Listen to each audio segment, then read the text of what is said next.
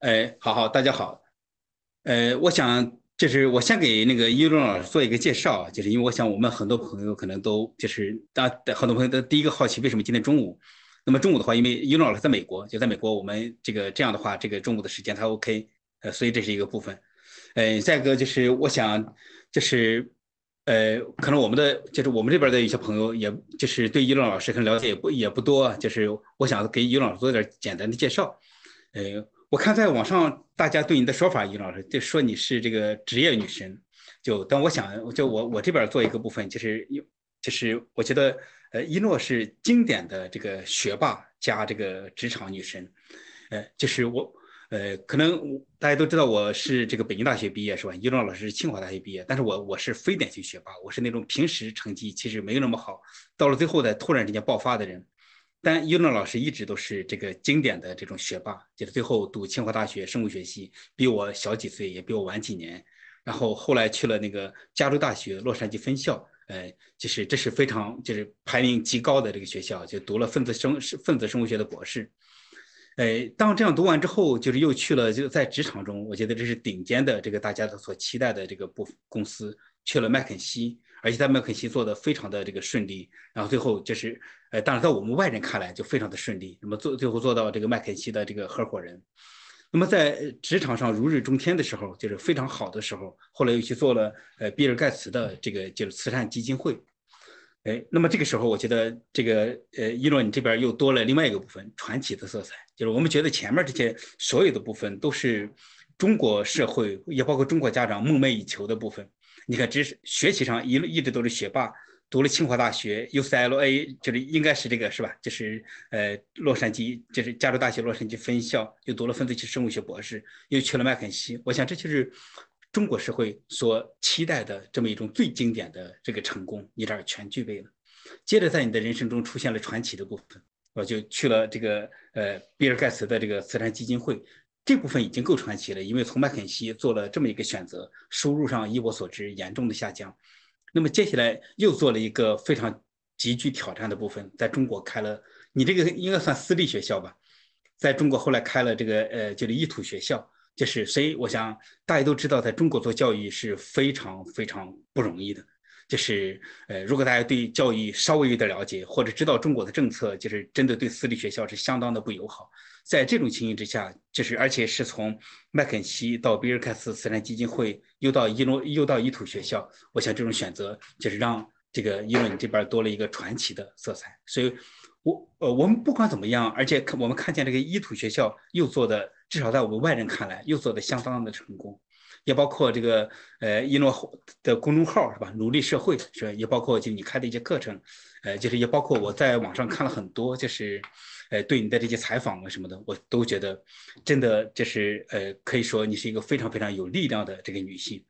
就是或者你是一个非常有力量的人，就是呃前面加上这些通常的标签这个职业女职场女神加学霸加传奇。是吧？那我想正好一诺还有这本书，就是呃，力量要从哪里来？那今天就是因为在我们谈之前，就是一那个一诺老师，我们进行了一次沟通，我们就在想今天我们这个主题是什么？所以正好我想就在前面再加两个字：真正的力量从哪里来？就是今天就是从我的角度来讲，是想听一诺老师更多的来分享一下，就他的这些经典的成功和非经典的传奇的选择。呃，就是这些都是怎么做的？还有一个部分忘了介绍了。我想在一诺你经常强调的部分，就是尽管在职场上就是有这么多辉煌的这经历，但同时你还是三个孩子的妈妈，就是你在就是教育自己的三个孩子上，就是也非常的 OK。所以我想这可能是大家都非常关心的。好，我的介介绍就到这儿了。好，谢谢武志红老师啊，这么一讲，我觉得就。直播就可以结束了，都讲完了。怎么会？行。呃，奥秘还没讲。对对，谢谢吴志浩老师的介绍。呃，大家大家好啊！如果是不认识我的或在不是我直播间的朋友们，呃，很高兴有机会跟跟吴老师这个对话，借这个机会跟大家有这样的一种形式的交流吧。嗯，好的。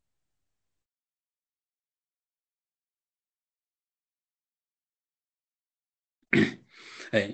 那这个时候就我想先从一个这样的部分开始啊，就是可能大家都会关注是吧？就是你是如何成功，或者是就是而且我们知道，就是你不仅你自己就是非常成功，就是在你周围也汇集了一就是一群就是就我们通常所说的精英人士是吧？我想你也见了很多这个就是各种各样的这种呃学习上、职场上，也包括其他方面的这个成功的这个部分，所以我们就很想来探讨一下，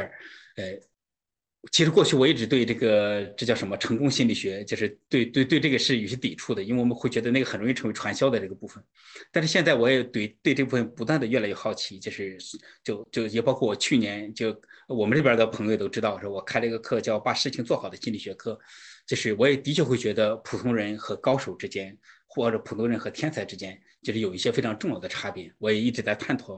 探讨这个差别在哪儿。那么今天也很高兴能够给那个一诺你来这样来详细来谈谈，说在就是你对这部分的这些理解。那我在看你书的时候，我其实我注意到一个非常有意思的这个部分，呃，你前面都有一个很重要很重要的这个这个点在讲到我不会，我不懂，就是我不了解，好像先承认自己的这个呃不会、不懂、不擅长。这是一个特别重要的部分，而且我看你在几个关键的这个发展点上，就是这都是你能够就走向成功的一个极为重要的开始，是吗？那么关于这部分，就是那，就是请你多说说吧。嗯，谢谢吴老师，对你说的特别对哈。首先，我也对这个所谓的成功心理、成功学是有抵触的，所以我跟你是一样的，但是。我也是做了一个转变，我的转变也是觉得，其实我觉得追求成功是一件每个人不仅有权利，而且有能力做的事情啊。因为我们有的时候会把成功定义的非常狭窄，比方说成功就是说我做到某个大公司的 CEO 啊，啊，或者是就是或者是说我在某个领域成为特别特别呃了不起的这么一个人或者两个人。那这样的话呢？那它的定义就就就使得成功这件事情是一个概率非常小的事情，对吧？那你你想大公司一公司几千人，那只有一个人能做到高管，那肯定概率非常小。但是我觉得这种定义其实是是是有问题的啊，因为我们就是以以这种为定义的话，那你那你说到底就从按从概率来讲，那你基本上大大概率就是要失败的。那如果我们有这样的一种起点去思考成功的话。那就它就会变成一种丛林法则，对吧？我怎么成为那一千个人里面的一个人？就这种成功学，我觉得是有害的。但是如果我们把成功学更广义的去理解，就说每一个人其实都有实现自己人生价值的这样的，首先是一个权利，我觉得每个人都有这样的权利。另外，其实我们也有这样的能力和可能性。就当我们这么想的话，我觉得呢，成功学就是每一个人都应该学习掌握的一门。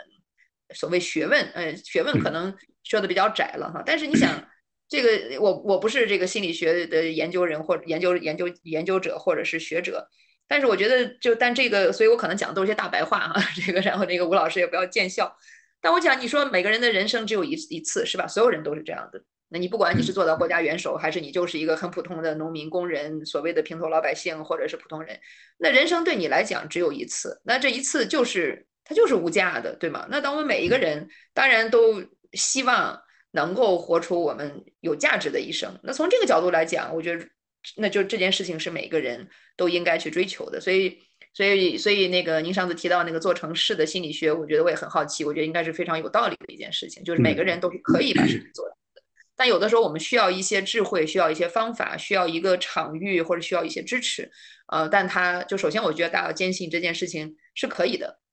那第二个，您提您提到的是说，嗯，呀，对不起，你的问题是什么来着？你因为我看就是我看你的书，就是你一直在讲，就是关于哦，说不会，对对对对对对对对，我现在觉得其实那对首首先这个其实我觉得就是事实啊，对吧？每一个人进入一个新的领域，那他都是从从不会开始的啊，就算是就是，但这个我觉得可能是我们需要破除的。我我我其实。我在里面，我不知道书里没有引用那个例子，非常有意思。因为我当时到盖茨基金会之后，呃，我我那个等于我刚刚开始接手这个工作，但我接手一年以后吧，等于盖茨基金会整整个整个这个组织的 CEO 也换了，也换了一个新人。然后呃，当时他就到中国来，那当然他也是刚刚上任，然后她也是个女性哈，也也也蛮了不起的。我就跟她聊天，她说了一句话，就我就印象就特别深刻，因为她在就是盖茨基金会这个。这个工作之前的前一份工作是 UCSF，就是呃加州大学旧金山分校，那其实是一个从医学院角度来讲是非常了非常好的一个学校。他是那个学校的这个校长啊，他就说他当时去做校长的时候，他就是想，哎呀，有很多想法，我要这样做那样做哈。他说当时他的一个他收到的最最有价值的一个建议。就是当时他的一个前辈 跟他说说这个你你来这个新的职位的第一个月，你只有一个工作，就是找到厕所在哪儿，就是就这个意思。当然它是隐喻的，就是说你不要想这么多，就是你你能在你这个楼里边知道厕所在哪儿，你就很了不起了。你要把这个当成目标，你要承认我不知道，我连厕所在哪儿都不知道。就是我觉得他这个是非常有有有价值的一句话，我也非常感谢他跟我分享，因为别人会觉得哇，你的都当过大学校长，对吧？现在又去做了一个这个最大的私人基金会的 CEO 呢，这个大家报道起来呢都是天上的人物。但是他讲自己的成长经历，他说我这我这第一来，我这第一上一上任就是我什么都不知道，什么都不会，我就要去问。其实这是一种，就这种所谓的归零的心态是非常重要的，因为有的时候我们的障碍不在于我们不能去学习，而是在于我们认为我们不应该去学习，或者我认为我已经知道了。那一旦有这样的一种障碍的时候，实际上你去获取你需要的知识、技能，或者对行业的了解，反而是自己给自己设设置了个障碍吧。嗯。那么讲到这儿，我就想说，那个就是因为很太多时候，这个有我们都面临着一个巨大的障碍，就是关于自恋。用就是我们大白话来讲，就是要面子，就是呃，当我们在一个很高的位置上，或者是自己认为自己是一个很厉害，就是这么一个位置，然后突然之间到了一个新的位置上，到了新的位置上，有时候看上去非常的辉煌，说就比方说这个比尔盖茨的慈善基金会，就是到了这儿，就是让你来来主管这个部分。这个位置非常非常的辉煌。如果这个时候，但是我们自己的面子或者个自恋放不下来，我们还希望自己以一种我很厉害、我很牛逼，以以这么一种心态来出现，那最后就出构成一个很大的障碍。就希望自己一上来就是一个很高的位置，那么这个而且在能力上也是个很高的位置，那么这个时候就可能就是严重的就是降低了自己的学习的可能性。但我看你的书里头，就是应该在你几次其实都有这么一个转变，而且这个转变。虽然你都做了，而且后来你也讲了，就是就是你你这么一个重要的领悟，就是先得承认不会。但我看每次转变，其实最初都不是那么容易。我感觉你也是到了一个地方，就是就因为自恋，用我的语言来讲，这个自恋是人的根本属性，所以它必然会发挥作用。所以每到一个位置上，你也希望自己一上来就是厉害的那一个。但结果后来就是有一些事情，也包括有时候有周围人对你的一些触动，然后。就是啊，当然后来你也形成了这么一种哲学，就是你就就是说，哎，那我得先得承认自己不会，然后当承认自己不会之后，这个时候好像才能够从这么一个想象中的这个自己很厉害的位置降下来，降到一个，因为无论如何，就是你这个位置就算再好，就是就算再厉害，自己过往的履历再强，那么这是一个新的位置，那么这个时候无论如何在这儿是个自己是个新手。所以，当承认自己是个新手，就是这就是一个极其重要的这个开始，是吧？所以这个时候，作为一个新手，就有一个准确的这个预判。这个准确的预判就是，哎，我找到厕所的位置就已经挺不错了。就是呃，就就这个其实道理听上去很简单，但是呃，在我看你书的时候，我觉得还是蛮受触动的。当然，这样我感觉这个话题可能引入了快了一点，但我觉得就不妨快一点，就是因为我记得。你从这个就是呃分子生物学的博士进入麦肯锡，其实这是一个特别重要的部分吧？因为在前面我感觉你一路都是学霸，因为学习和职场很不同，是吧？就是可能前面这种这种挫败或这种巨大的转变。好像在你书里头没见你讲到，应该说从就是这个 UCLA 的这个这个就是加州大学分校的，这就是洛杉矶分校的这么一个分子生物学的，就是自己很厉害的这个位置，很擅长的角色，突然之间接了麦肯锡。我想这个时候就是这次的这个转变的完成，应该是就在我的感知之中，在我的想象之中，应该是相当不容易。对对，是的，对我那其实书里的确有写，因为呃。就是很有意思，其实有的时候人会处在一种非常矛盾的这么一种位置吧。矛盾的意思呢，就是说你在你当然被录取或者话，或者是呃你去申请工作，人家要你，那肯定是因为你有所谓的过人之处，对不对？那就是那你首先你有学位啊，然后你肯定也在整个整整个的这个面试过程中也表现的不错呀，对吧？你肯定是有的。那你也知道你有，你也知道你如果没有，你不会拿到这个工作的。但另外一方面呢？那又是全新的啊！你你又要承认，其实你啥都不会，所以那人有的时候内内在会很纠结，对吧？一方面，那我如果没有过人之处，那这么多人你怎么选我呢？那肯定是吧？那肯我肯定还是蛮厉害的嘛。那另外一方面呢，你要承认我就是什么都不懂，就是什么都不会，那就是其实人在内在要有这种自洽，其实是挺难的。就这个实际上是是我觉得是第一，当时第一刚刚参加工作的时候，这样的一个很大的一个每天都生活在这种好像非常。就是非常分裂的 这样的状态，一方面总给自己打气说啊我还是不错的，我还是可以的；另外一方面说哎呀我是不行的，对吧？那人在这个里面其实很难。所以其实最后，呃，我那时候觉得可能我给自己把这两个这种精神分裂的状态合在一起，就是说其实你的确是两个同时存在的。你说所谓的差不多不错，那就是只是证明你以前不错，对吧？就是你至少以前的履历能够让你到一个新的起点。那既然是一个新的起点，那新起点你就是什么都不会，所以这两个你要这么一解释，它就是它就是它就是这个它就是自洽的了。啊，就好像我高中很不错，所以我就去了清华，那到清华就是个新起点，因为在在这种学校的层次上，我们可能更容易理解一点，但是在工作里面可能就更难一点，因为它不像学校一个是一个直线，大家都在做一件事情，你很多时候是没有跟你可比的人的。所以你必须在等于在这个一个很很模糊的这样的一个新的领域里面，重新去构架自己的所谓的定位，对吧？这个定位是让你是是让你不分裂的，你知道怎么去解释你的过去，也知道这个过去其实在现在是一个归零的状态，是很难的。嗯，只有这么一个。我想应应该有一个关键性时刻吧，就是。就所以我也好奇，就比方对你来讲，不知道有没有这么一个，就是之前你也讲到是吧？一方面对自己有很深的这种信任，也知道来到麦肯锡也是因为麦肯锡就是看中了你的就是各种各样的能力，但是等来真来到这儿，你自己是一个新兵，而且又从这个一直一直都是在学校里头，突然之间进入到这个最顶级的就是这么一个职场，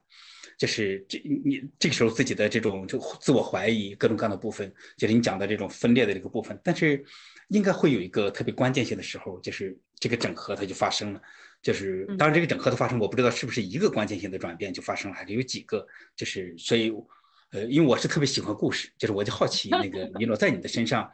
这种关键性的时刻是吧？这个关键性的细节它是怎样的？对，会有这么一个相应的故事吗？嗯，是是像你说的，其实是有是有一串儿的吧？啊，就是那当然我后来走出这个状态。我其实书里有写，就说是当时是实际上是我在应该是进入麦肯锡那时候有有一年半一年左右的时候吧，一年左右的时候，后来等于有一次我在工作上等于被被一个我那个工作上的上级和领导特别特别刻意特别主动和刻意的来告诉我他的认可啊，那个时候我才知道哦我还是不错的。但是那之前其实其实是一个不断的在面对这件事情的过程啊，不断的面对。我觉得其实。就是嗯，人可能最难的哈，最难的就是还是我我不用什么心理学的术语，我觉得其实人最难的是面对真真实的自己是非常难的，因为我那时候的感受就是因为有因为有一个词叫做 imposter syndrome，叫做假冒假冒者什么综合症嘛，就是你觉得我不够格，对不对？我我是不不该被，所以你每天去上班总觉得哇，你看别人都比我厉害，都比我好，那肯定是我不行。啊，我我在会议上说一句话，我也说，哎呀，这句话说的是不是不对呀？对吧？我这个用词是不是不好啊？我说的这个点是不是很重复啊？就是你其实有大量的在很多时刻里的自我怀疑。那时候的这时候转变怎么来的？我倒不觉得在这个过程中我有什么所谓的关键性的时刻。其实我有一个理论哈，这是后来我 我自己总结出来，就是人什么时候。就是发生这种转变或者是整合，其实就当你就当你很痛苦的时候，你就是就就是痛苦到很难受的时候，你就不得不改变了，因为你很痛苦。就是你会发现，哎，这种状态不行。然后呢，也不是说你突然得了什么真传，也不是说你突然得了什么，你就觉得哎呀，我非常难受。就人其实只有在。我就说，其实有时候说，哎，我怎么改变？我说，其实改变就是你，你，你，你，你不改变，你很，你很，你很痛苦，你就得改变。其实我至少我的感感觉就是这样。所以，其实，在这种情况下，你越早允许自己去体验这个痛苦，和越充分的去体验这个痛苦，反而是让改变发生的可能最重要的一个动力。因为有的时候，我们最大的问题是我们愿意去。去这个加一层保护膜，或者穿一个盔甲，或者戴一个有色眼镜，假装看不到这个痛苦，对吧？就是我就是哎，没关系啊，你看我可以装的很好啊，啊，我可以不错呀，呃，就是我就是我觉得我们这种自欺欺人，其实是让我们没有办法去面对和体验这些痛苦。当你没有办法面对和体验这个痛苦的时候呢，你这个积累就不够，你积累不够，你就不改变，因为你每天装的也挺好，可能别人也给你面子，也不会给你戳破，对吧？所以其实它是个悖论。所以我觉得我现在回想我在麦肯锡的前一年，其实其实就是很痛苦的，每天去上班都会想，哎呀，这个今天这个又又这个这个这个会不会又出丑啊，是吧？又会做的不好啊，有些事情又不会啊。啊，然后但是但是可能如果回回忆有什么所谓的好处的话，就是我至少没有假装我会，我就是不会，不会呢。比方说，我那时候讲了一个例子是说，呃，那个时候我们那时候零五年在美国的这个工作文化里面，很重要的一个沟通方式是留那个语音信箱，叫 voicemail。就比方说你给你客户打电话，然后呢，你就会跟他说啊，我今天开会，我今天干了一天的工作，呃，我我今天做了这些工作，有一二三，我需要你支持一二三。然后这个就是就是就是打电话留在别人的语音信箱里面，那一般都是别人下班以后，我们可能干到晚上八九点了，人家早就下班回家了。然后那时候大家有手机的也不多，嗯，有，但是大部分都是留到他们的这个就是工作的电话上。然后那个 voicemail 你要录了以后，你要一听一遍，你不喜欢你可以把它删掉，然后你再录，一直到你同意的时候你再发送。啊，所以我那时候就会在真的办公室里面能录两个小时，为了那五分钟的 那个 voicemail，你会发现不对不对不对，哎呀怎么讲怎么讲，然后语言又不因为语言英语又不是我的第一语言嘛，那时候第一份工作，那就是要做啊，就是就是这么个过程。所以，但是你做做你会发现，你坚持做一段时间，第一次你可能觉得非常的痛苦，印象非常的深刻。他可能过了一个月就觉得好像张嘴张嘴就来了，是吧？他就有这么一个过程，但是但是其实就是得通过这些去面对这些自己不行的东西去做这些事情，他才能才才是其实走出来的捷径吧？我觉得这真的是一个捷径哈。但是但是我们一般人可能不愿意去走这条路，那我们要去绕远。但其实你越绕，会发现你其实其实真的是在绕远。这这这听上去很简单，那个议论，你讲了一个就是呃，好像像是一个常识，就是这么一个基本的这个规律。我们先得从真实的位置开始，呃，就是自己真实的情况是怎样的，就是怎样的。你就算在这个呃，就是呃，就是之前的分子生物学的博士，你就算再厉害，当你来到麦肯锡，这也是一个新的地方，所以这是一个新的开始。新的开始的确要承认。呃，自己在这个一个非常原初的位置上，就是虽然自己有很好的潜能，有很好的过去的很多东西，但是到了这儿就是一个新的职场，而且上来就是麦肯锡的这个职场，可能这个时候的确有很多部分，在这个新的开始上，甚至就是一种处于零的这个位置上，就是你要慢慢的就是是就是和这个事物建立关系，逐渐的掌握它。就是我想这个道理听上去很简单，呃，但是很多人确实非常难以做到这一点。就是假如用我们这个心理学的这个专业的这个说法，就是说。我们这时候其实会有一个自恋受损的阶段，因为之前自己已经这么厉害，是吧？自己一路都这么过来，呃，当然不管厉害的人还是不厉害的人，都会有这么一种基本的自恋，但这是一个我们也需要的部分，就是我很棒，我很好，就是那更何况就是你一路过来，的确是都是学霸的这个方方式过来，我想这个时候觉得我很厉害，这种感觉可能本来就在自己的一份这个基本的感知里，当然自我怀疑，我看就是每个人身身上同时也也一直都存在。但是，当我们真的来到这么一个极具挑战的这么一个时刻，发现自己各种各样的时候都掌握不了，这个时候就有了自恋受损。那么，自恋受损的时候，其实这是特别不容易的部部分。因为我看见，比方说你刚才讲的在麦肯锡，你花了一年的时间来这个完成了，就是其实我们从自恋受损再重新开始对自己的自我有信任，也得有接纳。而且这里面有一个部分，就是说，当自恋受损的时候，有人有一种被打死。打散的感觉，打散了之后再重新把它组织起来，就是这个时候再重新就是有了这种自我组织性，然后我们才能往前行。但是有些人是这样，有些人一旦有自恋受损，就他就他就崩了，就瓦解了。那瓦解了之后，他这个自我就不能发挥作用了，他不能够，他就不能够说我我能够重新承认我在一个很低的位置上，然后再重新开始，然后好好学习，这样就行了。有的人一旦把承认自己不行。就这时候他就整个人瓦解了，他的自我就不能发挥作用，所以这时候他需要一种自欺欺人，需要一种自欺欺人，说我很厉害，我很厉害。就结果他一直在那兜着，一直在那装着，结果最最后周围可能别人也是一种这个不友善的这么态度对他，你怎么这么差呀？你赶紧起来吧，你怎么怎么样？那这个时候就就导致这个人就会一直在那装，这是就就装厉害。所以我想这时候我也想起你后来你的意图学校，包括你的公众号，应该是。不装不什么，就是就就就不装不装啊，对对，就就就我觉得这也是一个特别这个，这听上去非常简单，但其实做到我们会说，呃，很多人之所以做不到，其实因为就是因为他们的自我这个比较脆，就是一旦他这个自恋受损，他感觉到是一种自我的死亡。但对你来讲，你就是自我，但是散一下，啊，再再重新就是把它组织起来。而且，呃，我看你的书的时候，我觉我觉得这里面非常就是这是我特别吸引我的这个部分。我我的感觉好像在麦肯锡的时候，哎，周围的环境好像是大家都挺有智慧的，而且又很有善意，是吧？你像刚才那句话是吧？就是你的领导在你这样这个一年之后跟你说了一句话，哎，一诺，我觉得你的工作相当不错，哎，但是同时我也看见你，应该这也是在麦肯锡的时候，还是在比尔盖茨经？我感觉应该是在麦肯锡的时候，你已经在一个不错的位置上。是吧？这个在不错的，好像在这个副董事合伙人，在那个位置上的时候，那时候我记得你有个特别重要的这个点儿，就是我觉得你书里头其实这是很多，我不知道你你你的感受怎么样，但我看的时候我觉得非常宝贵的部分，因为我们作为这个中国文化出来的，我们有很多装的这样的部分，比方这个时候你已经在副董事的合伙人人的位置上，你感觉自己就得装自己挺厉害的，自己的工作得能够配得上自己的这个职位，结果这时候第一个是你过得很苦。就是你让自己表现得非常努力，然后好像必须吃点苦，必须努力才能够配得上这么好的职位，而另外一点好像也得。自己得多干点活儿，好像才能够显示自己有价值。就结果，就是我记得你一个在准备 PPT 的这个部分上，你的一个属下他在自己在准备 PPT 或者怎么样，当你给他工作的时候，你又做了这个 PPT 的准备，结果你的属下就对你说：“说一诺，这部分我已经准备过了，你不需要做这个事情，你干嘛要做这件事呢？” 那时候也给你很深的这个震撼，就是好像这个我们看见在这个顶级的这个所谓的公司里头，职场上，我看见有很多第一大家有善意。同时又非常的真实，是吧？就是好像这个这么这么一个过程，就把你的这个这个无形中的本来的可能还想装一点的这个部分，好像都给破掉了。既不需要装苦，也不需要装厉害，就是他同同时就是自己呃真的很好，也要承认自己的好。对对对，是的，是的，你说的很对。就是其实我自己可能我整个职业生涯十年吧，在麦肯锡我是非常受益的。的确是你刚才讲那个例子，的确是那个时候就是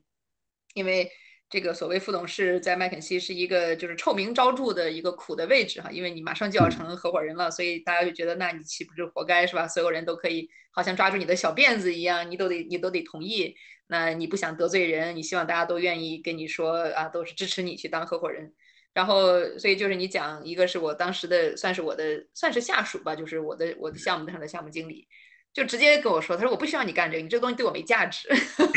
就我觉得我我非常感谢他，对吧？但是当然我一当时是有点无地自容的，说好歹我也是你领导，对吧？好歹我做这件事情也是为了啊想帮你的，对不对？但是他就说我不需要，我们公我这有团队，我底下有有分析师在做 PPT，你应该出去找见客户去，对吧？你应该做那些事情，我不我不需要你在做我能做的事情。我觉得这个我其实非常非常感谢他当时这个一针见血的指着我的鼻子说。然后第二个呢，就当时我的领导，然后我当时我就跟他说，我那时候已经很忙了，我还接了一个项目，因为别人我当时的这个这个底层的假设就是说，你既然在一个想要升成合伙人的位置，你就你就必须对所有的人 说说 yes，得同意，对吧？你这样别人才能愿意呃支持你当合伙人。所以我当时已经很忙了，又接了一个，然后当时就是一直一直很支持我的一个人，他就说你为什么搞得这么累？我说啊，我说那合伙人就是当副董事这个这段时间不就是这样的吗？然后他就说，当时那句话，他就说，那你要是这么想，那你活该。就他当然英文说，那 you deserve it，对吧？you deserve 就是他说，如果是你这么想，就 deserve it，就是你活该的意思。你要这么想，那就活该。就是你你想，你如果认为就是就是应该受苦，那你就应该受苦，对吧？那其实也是。就说的非常直白，但是就是但是直白告诉你，你你会觉得哇，这都是无价的宝贝，对吧？别人没有说说啊，那你这再辛苦一点，再晚睡两个小时吧，嗯，然后这可能对你有帮助的。他说你不能这样想，这最后你你你你如果这么想，那你只能只能有这样的一个结果。就这些上级或者是所谓的下级，当然所谓的平级，就是这些同事们。我觉得这可能也是美国文化，或者是因为那你是讲美国公司嘛，或者外企里面，就这是我觉得很早就非常受益的一部分。就大家就是比较，因为有一个词叫做 authentic，authentic 其实就比较真实。但是 authentic 意思就是说你有有什么就说什么，所以他们呃很早就讲什么叫 leadership，对吧？因为因为我们在所谓的商业环境里面，更多的讲的是领导力啊，是吧？这个女性能晋升啊，能能到这个职场里面做到高位啊，那一个很重要的就是 authentic，就是就是真的。所以它是一种被鼓励的文化，那我觉得我其肯定是它的受益者吧。在那个过程中才发现，哇，自己其实就是有很多装的层成分，但是经常会被人无情的戳破，戳破之后你就 你就看到了，也会比较感恩。嗯，对，而且你看这个时候就就我们看见，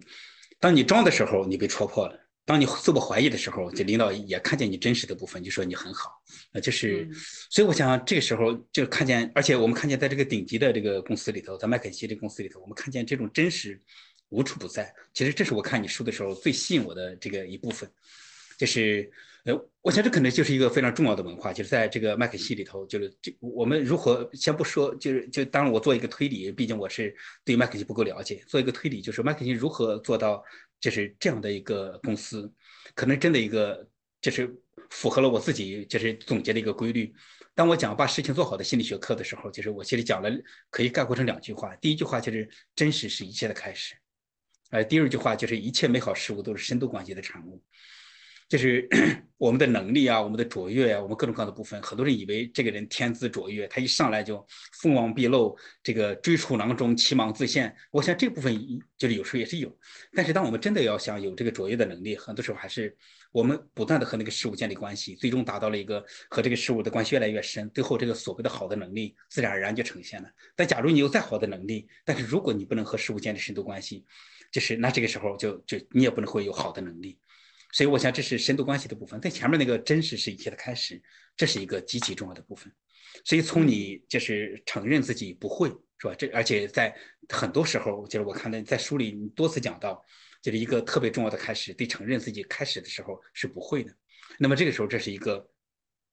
对这个真实的一个直接的这个拥抱和接受。而这个麦肯锡的职场文化。因为企业文化就看见这个真实的部分，所以就是你的这些员工、你的属下也好，你的上级也好，你的这些这个同同辈的这同行也好，他们都呈现了这种无处不在的这样的真实。就是，呃，你装了就戳破它，然后你自我怀疑了，就是他们就说你好的这个部分，而且这个是你真实的这个好的部分。所以我想这种真实，就是这真的是一个非常宝贵的这个部分。嗯，是的，是的，对我觉得其实可能一定程度上，我们自己文化里。中国文化里面这种爱啊，呃，或者是说叫做所谓的讲礼貌啊啊，就是我们会认为这些事情你就不该说啊，就像刚才讲的这个，那是我对我上级，哎呀，上级做的不大好，我也不好意思讲啊，或者是说也肯定有别人告诉他呀。其实这个我们经常会给他冠以一些比较美好的东西，比方说，哎呀，讲礼仪啊，或者是什么，但实际上最终其实是是一种伤害，这种伤害就是大家都会浪费时间。嗯，都会浪费时间，然后你会浪费精力，然后如果你们在做事业的话，你就会发现啊，你的事业上也会有浪费，对吧？那就本来可能可以说出来这件事情不应该这么做，但是有有因为这种爱面子等等不说，那最后其实那可能你都这个已经开偏了很远了，也没有人把你拉回来。那实际上大家都会付出代价的，我觉得这个的确是，而且这个可能对，特别是对我们中国文化、中国文化里面这些我们意识不到的这样的一些我们被。实际上是把它美化了的一些 一些一些一些不足吧啊，我觉得其实我们能够认识到这一点是非常重要的。就是我们就是为了给对方一些面子，为了维护彼此自恋，结果说一些好听的话，说一些暧昧的，就是模糊不清的话，结果就变成就是每个人都活，可能很多人就活在这么一种虚假的感觉之中，对事情到底该怎么做也不清楚，对自己的自我定位也不清楚，然后结果就这么不断的做下去，这样。就真的离真实越来越远，最后就变成连这个成功的开始都不可能。就是因为，就用我的说法来讲，真实是一切的开始。如果你不真实，那就就是意味着这个真实的关系没有建立，然后就意味着这个一切就是都没有开始。对，对，对，我觉得可能很大的一个困难，我非常同意您说的这个说法，就真实是一切的开始。我觉得我们很多人在个人成长上的或者职业成长上的困难，就是可能我们嗯一直没有机会。去知道到底什么是真实的，或者是说我们把握不好这个界限，哎，什么时候我就冒犯你了，对吧？那就是我是我有多真实，你你那有是不是是有的时候是不是鲁莽啊？就是我觉得这个其实是需要一个需要一个就是需要一个培训的过程的。这个培训不是说你要去上个课，嗯，而是就是因为人其实是个复杂体系，人是非常复杂的，我们我们每个人都是很复杂的，所以其实一个复杂体系它如何去。跟他周围的这个这个这个环境能够达成某种平衡，其实是通过不断的，它是是一个不断的一个叫什么呃低成本试错的过程。啊，就是你可以有一有一个环境，你能说一说做一做，然后呢，像我我当然如果从从一个就底层成长的角度来讲，就回顾麦肯锡，它其实就是这么一种文化，就这种企业文化，当然也可能是你的家庭文化，也可能是说你的这个呃这个社区文化，或者是等等，就是这其实这种我们每个人都是存在在一个微微文化的环境中的。这个从家庭开始，到我们工作的小小工作的这个小环境，到我们工作的大环境，到我们所处的社会环境，我们其实是需要一个允许试错的这么一个过程。而且这个过程其实越早开始越好。我觉得好多。年轻人，因为我也对很多就是职场里面的这些那个，我自己也在做工作坊，更多都到做在职场里面有些年的人在发在发展的时候遇到的一些瓶颈，所以我当时也写过一篇文章，我说这我说职职场困境的根源都在职场之外，意思就是这样，就是不是说 我好像到了这个叫什么，我做到了这个副总裁，我要再升这个什么资深副总裁，从 VP 到 SVP，我觉得我是不理解 SVP 这件事，不是的，实际上它这都是表面的像，可能底层都是说，哎，我怎么样去。在这个在这个新的环境里面，去很快的建立起一个，一个是对环境的了解，一个是在这个新环境里对我的一个认知，然后包括像您说的第二个，去构建这种新的一个底层的这种深度关系，就这些东西实际上其实是从我们从家庭就带来的，我觉得是我们在成长的过程中，在整个我们家庭的环境或者我们学校的这种教育，然后社会的教化，都形成了我们的一种非常，其实是个非常很多人无觉知的这么一种反应模式。那这种模式导致了我们可能就是对真实这件事情它的敏感度是不一样的，所以我觉得可能像吴老师您这样的人，包括可能像我哈，就是虽然我们呃个人层面没有认识，但是我觉得您能发展到今天，肯定是因为您成长的过程中有这样的一种环境，不管表面看上去可能没有什么高大上这那，不管是从哪儿就就是，但是其实都是有这种底层的这种环境，使我们在比较早的时候。能够有一个这种就是低成本试错的这样的一个环境，让我们知道得到一个自己的体系啊。那这个体系，所以所以后来我包包括为什么做教育、做家长教育，我就认为其实在这个时候，我们给孩子这这个东西，实际上他以后他以后会会会成倍的受益的。它是一个就是这个性价比特别高的这么一个东西。反而反过来，如果我们不做这件事情，孩子在成长的过程中没有。他到长大了以后，到他三十岁去做这个事情，他要付出很多很多的努力，而且还不一定有有这个当时这个就是这个就是如果能够在在更更早的时候受到这样的环境来的效果好啊，所以所以我觉得其实这个是不容易的，嗯。呃，你刚才这样讲，我就我我又想到再回到开头的就是那种感觉里，你比方说就是当承认自己不会的时候，我们会面临什么？你看，就是对你来讲，承认自己不会，其实就回到了真实的这个起点上，那这时候你的自我没有崩，就是你的自我没有瓦解。那么对很多人来讲，就是甚至我觉得对我们社会中的大多数人来讲，就是呃当这个承认自己不会，当承认自己不行的时候，他其实会面临一种自我死亡的感觉，就是呃，就用用这个心理学的语言来叫自体瓦解，就是他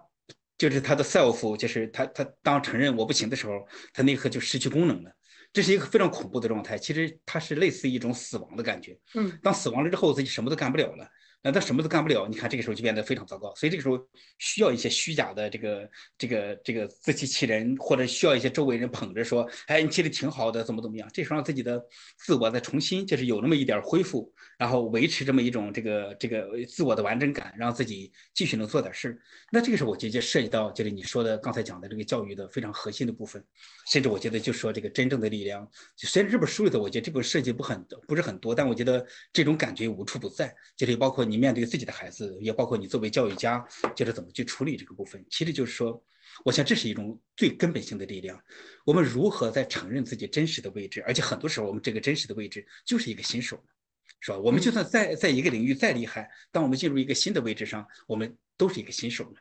我们这个时候如何在承认我不行？然后承认我不行的同时，就是当我们处在这个真实的位置上，但是我们的自我没有死亡，没有瓦解，甚至我们自我处在一个非常棒的这么一个能够发挥功能的这么一个状态。我想这是一个根本。其实根本，我就在想，这时候就涉及到心理学经常讲的这个部分。比方说，爱是深深的理解和接纳。然后父母最好的礼物就给孩子一种无条件的爱，无条件的接纳。但是我们得说，无条件的爱和接纳，它只是瞬间，不是经常的发生。那有些瞬间能够让孩子感受到就行了。而这个时候就面临着中国家庭中，他也包括我们职场上常见的这个问题：说你有这个问题，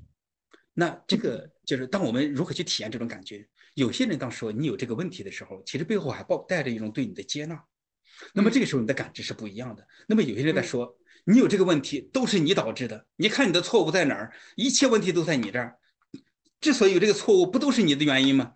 那这时候我们就感觉到对方在攻击我们的自我，在否定我们的自我。那中国家长最喜欢对孩子说的一句话：“一切都是你的错。”或者说家长表达了各种各样的话，但是孩子的感知说一切都是我的错，所以甚至说你活该。但是当这个时候和你说那个 deserve 又不一样，就所以这个时候就孩子就感觉，当我承认我的错误，当父母说我有问题的时候，其实这个时候传递着这么一信息：你的自我是糟糕的，你的自我，你的 self 甚至都不配活在这个世界上，是可耻的。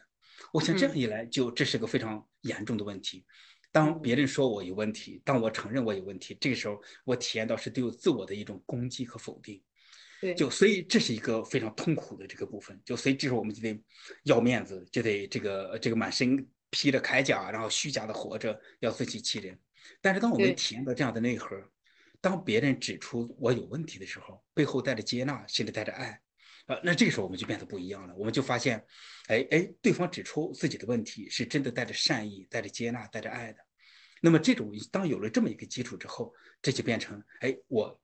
我甚至自己都学会了一个东西。我承认自己这个是一个新的开始，承认自己是新手，承认自己不会，这多么宝贵啊！因为以往有各种各样的经验都显示，当我进入一个新的环境，承认自己不会，这是一个极其重要的开始。我就不需要在这个呃自恋上耗很多时间，然后最后把大量的时间浪费在那儿。啊，这时候我就有一个很棒的这么一个过程，而且就会发现，不仅就是我自己有个很棒的过程，而且在这个时候，周围总是有人对自己是接纳的。所以，我想父母如果给了孩子这么一个礼物，或者说就是像意图学校是吧？像你这样的教育，也包括你的公众号或者我们的公众号，能够给大家就是这样的一种感觉。无论我们面对什么样的问题，我们对自己的接纳，它一直都存在。当我们有了这么一种状态，我想这就是一个真正的力量，最根本的开始，或者这是也许是最根本的底层逻辑。对对对，您讲的我非常同意哈。就像你刚才您讲的这种例子，真的是无处不在。我觉得，嗯。嗯，其实一土学校就像您讲的，在国内做学校是我当时做也是无知无畏吧，实际上是有各种各样的没有想象到的困难。但是呢，我觉得因为学校也很复杂，但是我想一个核心的理念一直是不变的，就是说我们说就是要给孩子提供一个嗯安全的场域，这个安全。不仅仅是说物理上的安全，当然有物理上的安全，保安啊、楼啊这些东西，但是更重要的是一种心理安全啊，就是心理上的安全感，就是我在这儿我不用害怕，我随时被评判、被评价，这个是非常难。就像你刚才讲这种例子特别多，我记得我那时候我们有一个朋友小朋友是从这个这个这个一个公立学校转过来的，然后当时这个例子我印象特别深刻，就当时他们就反正三年级吧，好像是还小男孩，然后就很闹嘛。然后呢，那个就是老师对他们就就很就很友善，他在一图的时候，然后他就说，他说，哎呀，他说你们老师怎么那么好？他说，你知道，当我们的学校，如果我这么闹，老师就会让我站到后面，站在垃圾桶旁边，然后告诉我你就是垃圾。哦，就是三年级的小孩。我就想，我说一个老师说这种话，我说这还能叫教育者吗？这整个就是一个 这个儿童的犯罪。但是呢，其实大家可能听这些话，就是我觉得一个可悲的事情，就是因为我们可能在环境这些环境里面，这种话听的太多了。呃，就是太普遍了，反而使我们似乎习惯了。我觉得这是非常可怕的一件事情。就是就是，如果有一个人拿刀子去割你的皮肤，不是不是因为说他割了一千刀，所以他这每一刀就不痛了，对吗？他他每一刀还是像每一刀一样。所以所以，其实我觉得我我就是经常会提醒自己，我说我们要保持对这些事情要保持敏感，要保持不同意，要保持愤怒，因为这是不对的。因为这些这里面就像您说的，我觉得就是我们的大量的这个对孩子的暴力。嗯，就是英文叫 abuse 或者虐待，我们会认为好像我拿个棍子打他，打他皮开肉绽才是 abuse，这当然是，但是有很多很多对孩子的这种实际上是语言暴力，对吧？就是说，就刚才您说那些所有的例子，我都不想再重复了，反正就我们经常耳熟能详的，这种语言暴力是非常多的。所以其实是就是能做到这一点，所以包括为什么我们现在做做家长教育，做很多线上的课程，就是你哪怕因为一所学校其实规模是很小的，而且其实现在也就是在这个大环境里面也也非常难，也不可能去做什么真正意义上的所谓的扩张。但是我想，如果大家的家庭能够在自己里面做改变，是可以改的。你不一定说要孩子一定到某个学校去。然后，但是这个后来就回到您讲的，我觉得为什么对我们来讲这么难改变，就是这种对自我的攻击这么经常会发生，我们那么有攻击性。其实原因是我们大量的成人自己小时候就这么长大的呀，对吧？就我们 我们自己就没有被就没有被善待过，所以我们不知道如何去善待别人啊。所以我要等我就我意识到这一点的时候，我觉得家长也很惨的。家长不是说不想当好家长，不是说不想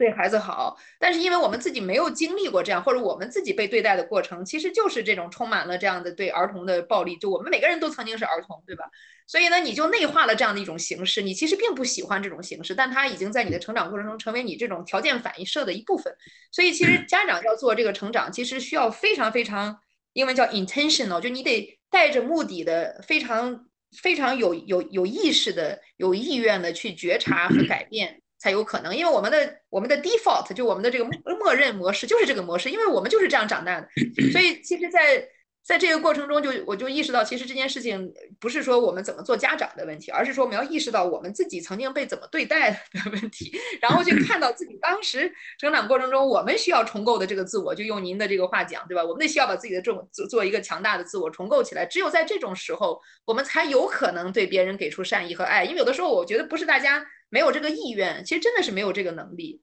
啊！就这个这个这个能力是需要 重新去学习和构建的。嗯，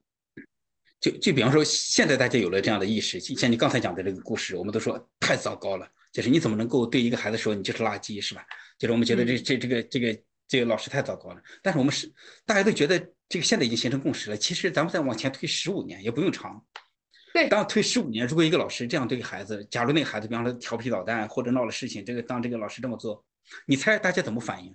家长都会说：“哎，老师，你对我们家孩子 严厉是好的。”然后我们都说这是教育，是吧？其实你看过去，那过去的共识就是一个孩子犯了错，就要无情的对待他，就要对他的自我进行严重的攻击。那这时候孩子才知道自己疼了，知道自己被惩罚了，他才能够变得乖一点。其实我觉得这是过去我们的这个所谓的教育。就是，其实这个时候，我觉得这其实就像你说的是吧？就是我们关键是这种环境和文化，就是我们在这样的家庭之中，我们在这样的文化之中，我们在这样的社会之中，就甚至整个的这个社会是吧？就是这个呃，现在这个时空里头，就是现在这个空间里头，过去的时间里头，往后推五千年，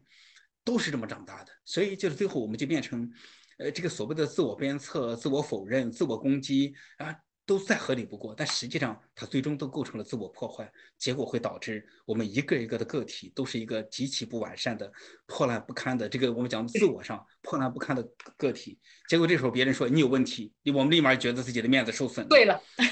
当我们当我们作为孩子的时候，当我们作为弱者的时候，比方说社会底层的时候，那有家长这样说自己，或者这个这个有权利的人这样说自己，只好只好这个默默承受着。但是等自己做了父母。就不接受孩子对自己这样说话了，但是等自己做领导，也不接受自己的属下这样对自己了，结果就变成就是就是小时候就是或者低位的人就。这个自我不断的被否认、被打击、被被攻击、被破坏，然后自己的力量严重丧失。但有一天自己成了有权利的人了，或者至少能够彼此威胁的这种大人了，哎，这个时候又开始讲面子心理，又讲哎要给彼此面子，不要讲真话，真话很伤人的。结果就构成了这么一个，就是这么一种循环。就是，所以确实是，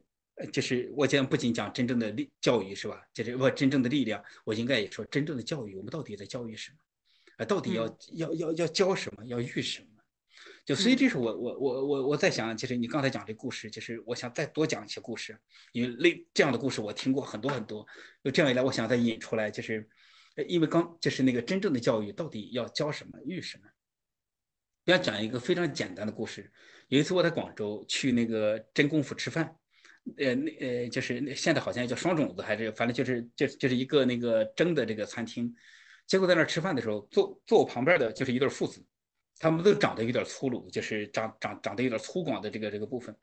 那男孩吃饭特别快，男孩大概八九岁，啊就就就吃完了，但是明显的吃的很享受，吃完了之后说把碗一放，他说爸吃我吃饱了。哇，这个那种享受那种感染就油然而生，我在旁边都受到感染了。结果这爸咣叽把一碗饭扔到他面前，饱个屁，再吃一碗。就原话，我我一点没改，我感觉很那个，然后就一下就被噎住了。就就你看他吃饱了，是一个很享受的这个状态。就突然之间被爸扔了一碗这个这个一碗饭到这儿，而且你看饱个屁，再吃一碗，他立马有一种被噎住的状态。这种细节我们听起我们说起来觉得好搞笑啊，但。但这是对他自我的一种破坏，我我待会儿再详细做解释。就就类似的事情，在我们的家庭之中，在我们的文化之中，这个太多了，比比皆是。就比方说，我前两天参加一个摄影活动，然后就是因为我是摄影爱好者，这个疯狂的摄影发烧友，就结果就是在那个活动现场，就是现在广州早上十几十来度比较冷，但是到了下午经常到二十四五度，就是其实挺热的。而且我们都是在中午的时候去去去那边开始准备，下午三点钟才开始拍。结果在那个现场有个父亲，他自己光着膀子，他抱着自己的孩子，孩子穿着羽绒服。哎呦，这这你可以想象，这这这真的让人非常难受。因为我们得知道一个基本的常识，孩子普遍身体比大人要热，这是阳气足。照中医的这个说法，就是我们不管中医接受不接受，但是孩子身体相对来比较热。但是在广州，你经常能够看见，当然我想全国各地应该都是这样，大人都开始穿着半截袖，就结果孩子你给他穿个羽绒服，为什么呢？那孩子满头大汗。这时候基于一种基本的逻辑，你要跟这个这种家长去聊，这家长就说我们家孩子身体不好，要得这样的去保护，要得怎么样。但是孩子会说：“妈，我很热，或者爸，我很热。”这个大人就会说：“你知道什么？”那这个时候，我觉得，你看，他就对孩子的感受进行了一个基本的否定。就是，当然，我最初有这样的意识，还不是看中国的故事，因为就那时候我在《广州日报》做心理专栏，就是我看了一本书，叫《不要控制我》。那后来这本书叫《不要用爱控制我》。那这本书也是因为我的推荐，在中国几次卖断，然后现在成了一个比较畅销的这个这样的书。在书里头讲了一个很经典的故事，这故事就是一个妈妈带着女儿去一个冰淇淋店，当这是美国的故事。然后妈妈就问女儿：“乖女儿，你想吃什么冰淇淋啊？”女儿说：“要吃，呃，巧克力冰淇淋。”女儿那妈妈就说：“不对吧？你不是明明喜欢香草冰淇淋吗？”女儿说：“不，妈妈，我喜欢吃巧克力冰淇淋。”她说：“我一直记得你是喜欢吃香草冰淇淋的。”她说：“不，妈妈，我就是要吃香草，我就是要吃巧克力冰淇淋。”然后最后这个妈妈不得已给女儿还是买了巧克力冰淇淋，接着就说：“这女儿真怪，怎么就变成这样了？” 当这个书的作者就讲到，你看这是一个过程。他首先说这个女孩挺有力量的，就在妈妈的不断的这个暗示、打压、诱惑之下，她一直坚持了自己的选择。呃，他说这就是一种控制。你看这个妈妈要把自己的判断强加在孩子身上，但是孩子有他自己的这个感觉，有他自己的判断。那么有些孩子在妈妈这样做的时候，他的感他的这个选择，他的感觉就被破坏了，他就放弃了自己的选择，最终他就按照妈妈的意志做了选择。但这个时候就是对他感觉的一种破坏。其实像我们刚才讲的几个故事，都是，啊，就是都存在这个部分，家长也好，老师也好，对孩子的这种感觉进行了否定。对，当孩子就是呃能够信任自己的感觉的时候，他就有一个特别重要的部分，我的我才是我的世界的权威。对于如该如何做选择，我要信任我的感觉，而且只有我才知道我的感觉是怎样的。所以这个时候，我是关于我生命的权威，我是关于我生命的这个决定者。呃，所以当孩子获得了这个部分，我觉得这就是一个最宝贵的开始。如果原生家庭能够给孩子一份礼物，我想这就是最宝贵的礼物。对，但是假如孩子没有获得这份礼物，他获得这相反的东西，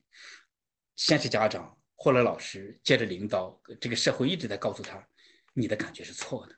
嗯，你作为新手，你看新生命嘛，作为孩子是吧？你作为新手，你不知道你是怎样的，你要相信权威的，爸妈知道你是怎样的，老师知道你是怎样的，领导知道你是怎样的，国家知道你是怎样的，最后就变成啊，我不知道我是怎样的。那这个时候。就变成，就是他是对这个孩子构成了一个对这个个体就构成了一种严重的破坏。那么这样长大的人，他就不可能有一份坚韧的自我，有一份健康的自我，让他自己在做选择的时候忠于自己，然后最终就是创造各种各样的部分。所以我想这是一个极其根本性的东西，就是有些个体。能够在原生家庭中获得这份礼物，也包括在少数的中国的学校，比方伊土学校、华德福、这个孙中学的爱与自由，是吧？类似就是就是蒙特梭利这样的学校。当然，这样的学校它有时也有各种各样的他自己的问题。但是，我想在这样的环境里头，至少大家有这么一个共识：要告诉孩子，尊重你的感觉，相信你的感觉，这是你在这个世界上最可以相信的一仗。而而这是一个重要的开始。而在这个我们文化之中，在我们家庭之中，在我们的社会之中，我们普遍接受的一个部分是：你不知道你是怎样的，你要听领导的、听权威的、听父母的。我想这就是对一个人的破坏。所以后面的这，我想咱们在谈的时候，当时给我感受很深。你是说的很严重，你是后面的这种所谓的教育，这是犯罪，是吧？就是前面的这种，这才叫教育。所以所谓的真正的教育，其实就是。哺育、肯定、关怀一个人的真实的自我，就是他的这个 self，而这个糟糕的教育，甚至是犯罪的教育，其实就是一直在打压、否定，甚至根本上否认一个人的这个自我。嗯，你说的特别对，我看见吴老师可以做这个育儿专家了，是这样的。我其实对那次对，谢谢你说那句话，我真的这样。有的时候我觉得，因为有的人经常会让你分享关于教育啊，就是这个教育这个两个字或这个词，什么都得往里面装，似乎似乎你只要背个书包去上学，你就是在受教育。其实不是的，我觉得真的是好多时候的所谓的教育，就是就是体系化的这个制度性的对儿童的犯罪，这个是大面大面积发生，特别是。特别是有人在城市还好，大家如果去关注农村发生的一些事情啊什么的，真的是就觉得就是天天在上演，嗯，而且就算是我们没有那么严重，你说啊，你看我也不虐待孩子，我对孩子可能也还还可以哈，就很多至至少城市里面的家庭，我觉得对这些理念还是认可的。但是呢，我们又经常被，其实说到底是被恐惧所挟持吧，就是我们就可能刚才您讲的这些，或者是我们要讲的这些。很多家长听了都会觉得，哎，我同意的啊，我是理解的，我同意的。那大家很少会说，啊，我不同意，我认为就是不对的。我觉得很多人会同意，但是可能我们很多人的难点在于，我一旦到一些很具体的问题上，哎，比方说，我这要不要给孩子报这个班儿，要不要让孩子多学半个小时，要不然把这个作业这个字一定要写好，对吧？一定要老师教的就一定要做好。其实是在这些非常灰色的地带上，我们会觉得我们很难做决定，对吧？我是我一接纳他，那万一明天作业完不成？老师说他不行怎么办？所以我觉得我们很多挑战在这儿。那这个为什么它是挑战？就是说到底，如果我们深挖，实际上是来自于我们的某种恐惧，就某种害怕，就害怕说哦，你看万一要这样的话，那在班里边老师会这么看他呀，同学会比他快呀。那那如果这样的话，我们会其实会做，我就说我们自己脑子里会演演小电影，小电影就会演到哦，那如果这样的话就考不上高中啊，考不上大学就考不上大学，就没有工作啊，就捡垃圾啊，就拾破烂儿啊，对吧？就我觉得我们这是特别常见的一种叙事方式。然后我们被他一旦一旦把他妥协了，就被这些东西裹挟了之后，我们就就就会刚才吴老师讲这些东西，他就都放下了，什么接纳呀、爱呀，对吧？我反正很接纳，很很爱你，那你现在就得把这个事儿做了，我你就得吃这个什么香草味的冰激凌，就类似这种例子，实际上是非常多。所以，所以我觉得，我觉得如果咱们那个就是成人朋友们听到这一段话，觉得在频频点头的话，可能要想的是说，哎，我们怎么能够在这种灰色地带？还去能够做到这一点，这其实是非常难的，其实是非常难的。我就说为什么做说到底，就是做父母是一个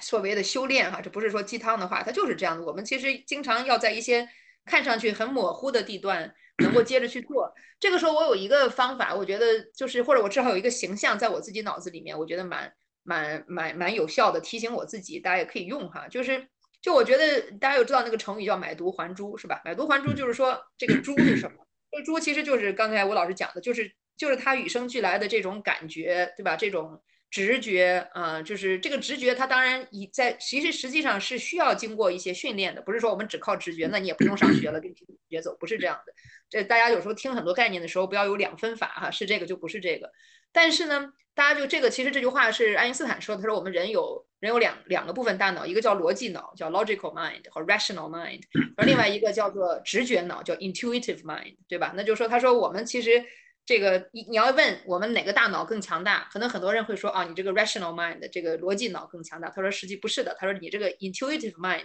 比你这个逻辑脑要要强大太多了啊。所以他当时整个那些什么相对论啊，这个东西其实。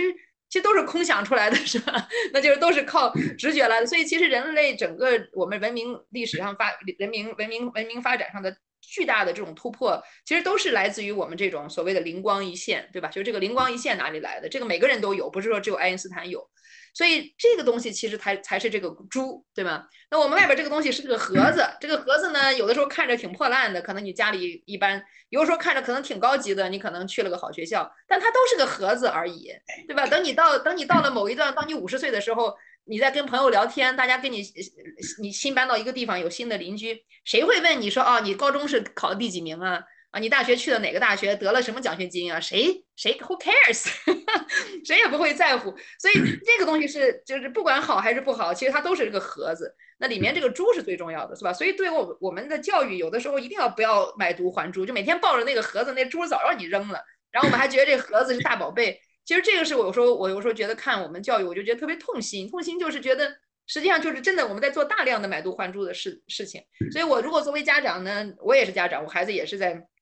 在这个在成长的过程中，有的时候我会提醒自己，比方说孩子特别专注的做一件事儿，哪怕这件事儿看上去也不是他的作业，也不是什么，他可能就在搭一个乐高或者做一个什么手工。但是你要去训练自己看到这个猪，这个猪是什么呢？猪我就讲说，实际上是那种看不见的东西。你比方看得见的东西就在大乐高，那你就说，如果按我们的概念，我们其实马马上大脑会赋予它一个概念，这个概念就是这就在玩儿，或者还有一个概念说啊，这个玩儿是不干正事儿，对吧？其实我们大脑里有大量的概念，但是我们要训练自己，就是说啊，把这些概念扔掉，我们能不能看到他的那些看不见的东西？比方说他非常专注。比方说，在一个五五六岁的孩子，如果能专注一件事情四十五分钟，实际上是很超长的，非常了不起，是是很了不起的。对，所以他哪怕玩的是乐高，他如果在专注，哦，我要去保护和保持这种专注。所以，当你能看到这一点，你说，哦，你就突然看到那个猪了，你知道吗？你就训练你的眼睛看到了，哦，这就是那个，就是那个夜明珠，就是那个宝贝。然后这个时候，你剩下的东西是他下一个，你可能报了个网课，他没上，没关系的，那个东西没有可能不会消失太多的，就没有什么大的损失。你可能的确损失了这个钱，但是在经济上有个原理叫做 sunk cost 沉没成本，对吧？你这个反正那个班你也报 交了钱了，你上不上你那个钱都交了。所以等我们有这种感受的时候，你就会训练自己去看到这个夜明珠的这个能力，看到那些看不见的东西的能力。这个其实跟回到我们讲自我也是一样的，因为你说自我是个什么东西？自我就是看不见摸得着的呀，摸不着的呀，对吧？那就自我不是说我就是我我书里其实引用了那个例子，他就说当时一个。这个什么，这个这个这个纳粹军官看一个犹太人是吧？说你是什么人？他说我拿一大摞，我这是我这个证书那个证书，这个什么证？他说这是我所有的。他说你把东西给我吧，所以都给了那个纳粹军官。纳粹军官咵哐扔垃圾箱里去了，说那你 now you're nothing，你现在啥都不是了，对吧？那如果我们的自我是这些东西的话，那你可不就没有了？但本来自我就是看不见摸摸摸不着的东西，所以其实我们在孩子身上开始看到这些看不见摸得着的东西的时候。看不见摸不着的东西的时候，我们其实就开始帮助他构建自我了。所以，其实这是一个方法，可以大家借鉴嘛。其实每天生活里都可以用得到。我想刚才你实际上讲了一个是很生动的例子，是吧？就是关于也也很具体的例子，关于乐高的这个故事。就是当孩子玩乐高的时候，他全然的投入其中，他在一个高度专注状态。那这时候，如果是能够看见这个看不见的东西的时候，就知道孩子的专注，就是这是一个极其宝贵的东西。不过这时候家长就是不仅说，哎，你你别玩了，你要去学习，有个网课要怎么怎么样，这是一种破坏。但还有一些家长是这样，有些家长看起来对孩子也挺关爱的，就说，哎，孩子累了吗？来喝点水啊，来那个吃点水果。哎呦，你这个这个乐高搭的真不错，你跟爸妈分享一下你搭乐高的感觉是怎样？结果你看，这都是在对孩子的一个感觉的破坏。其实我们就明白，孩子能够持续的在他的这个专注之中，如果能持续四十五分钟，那这是非常了不得的这个事情。我想专注是一部分，还有一部分，你看我们在就讲这么一个就故事，当孩子在专注的做搭乐高的时候，他在一种享受之中，甚至假如他能够持续四十五分钟的专注，其实他会体验到体验到一定的心流。那么这个时候，孩子就处在一种愉悦，处在一种享受之中。那这个这是非常宝贵的。当孩子一旦能够在一件事情之中，他体验到，当他能够全然投入其中，有一定的这个心流的体验产生，他就获得了一个极其宝贵的事情，就是做事情是享受的。所以我想，这是那个，呃，这是真正的力量和虚假的力量一个巨极其巨大的区别。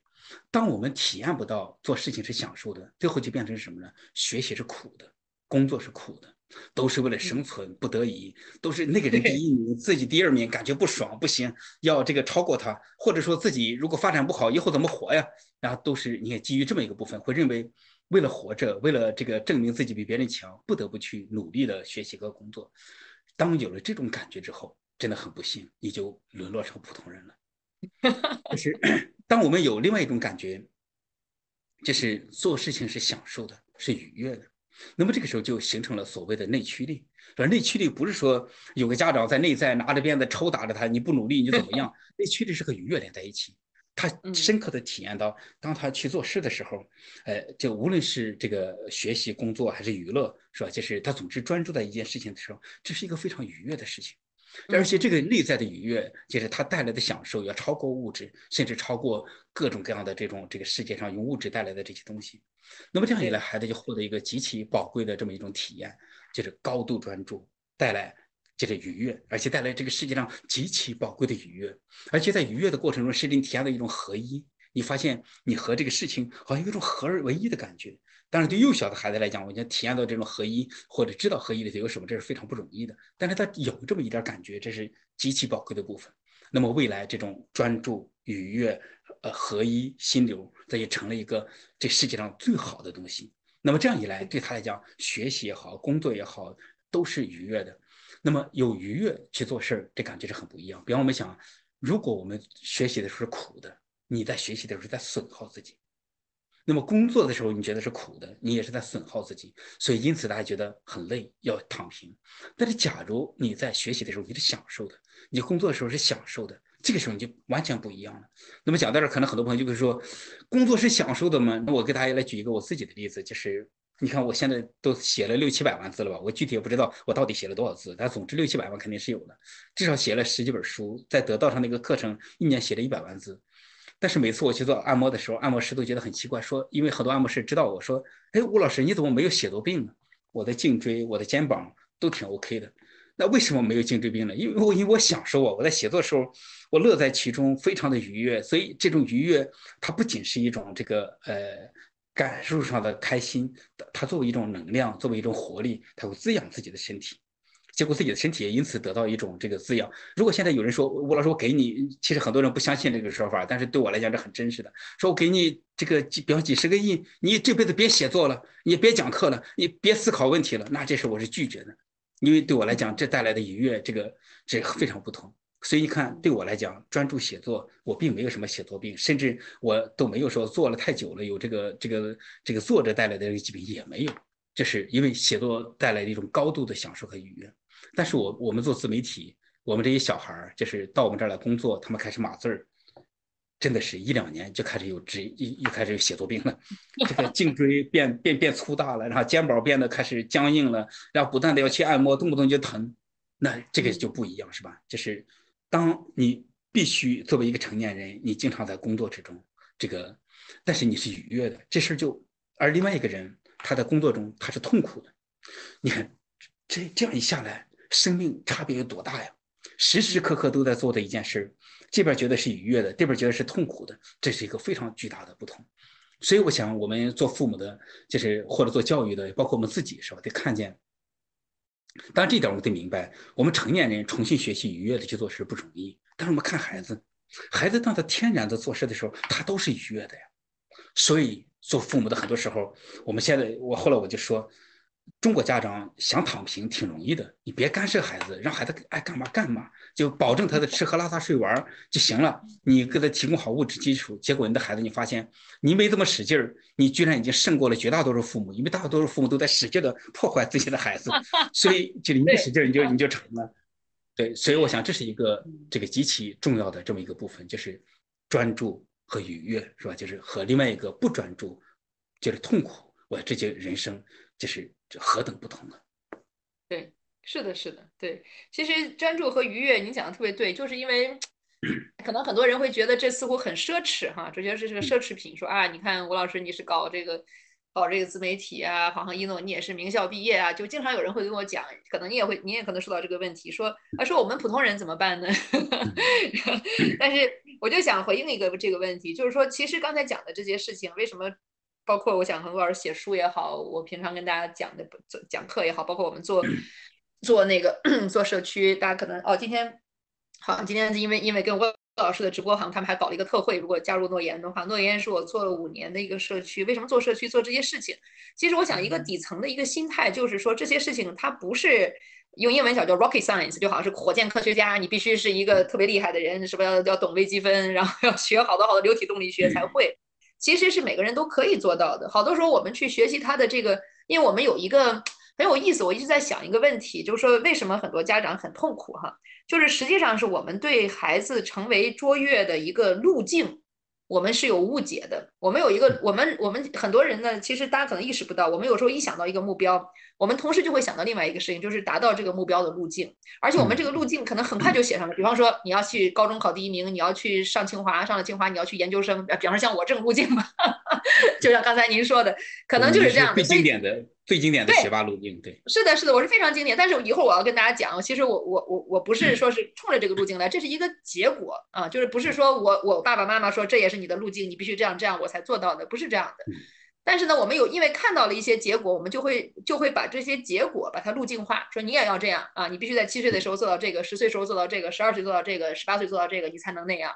我们马上就把这个路径，而且我们把这个路径是奉为圣旨啊，就是这样的。其实这个是我们无意识已经做了一个事情。其实我们对大部分时候对路径的理解是完全错误的，路径不是这样的啊，它不是这样的。所以呢，我们可能如果家长能做一件事情，就是说我看到目标可以，然后呢，我要去真正理解这个路径到底是什么，而不要用想当然的说去看它的结果。呃，就是就是，所以我为什么我经常推荐大家，或者是希望大家去多看一些。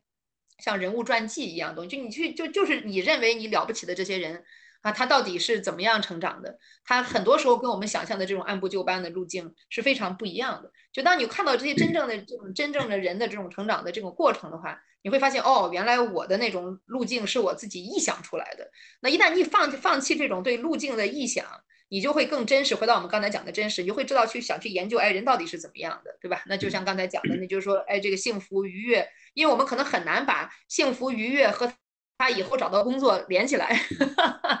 我觉得这有两个问题，第一个就是说我们目标可能就定错了，目标就定到找工作是不够的。就是就像刚才讲，如果你找的工作是个他非常痛恨的工作，是一个为了生存不得不做做的工作，他每天都不喜欢的工作，你这个目标就有问题，对不对？所以我们的目标不一不应该是说他只要开始工作，而是说他能够有一个自己能够永永远得到这个价值，能够感到的感感觉到这种，就像刚才。我老师讲的自己工作的这种幸福感的这样的一种状态，我们其实追求是这种状态，对吧？他是通过工作做，还是通过他自己以后做自媒体做，还是他去当个什么东西做？我不管，因为这个东西你也设计不了。所以首先要想这个目 标，然后再想这个路径。路径就是说，实际上它是有路径的。就比方说刚才讲学习也好，讲这个这讲这个成长也好，讲这个怎么把愉悦感转变成他的实践能力也好，是有路径的。这个路径不是我们表面看的这个按部就班的哈，就要去哪个学校，要考第几名这个路径。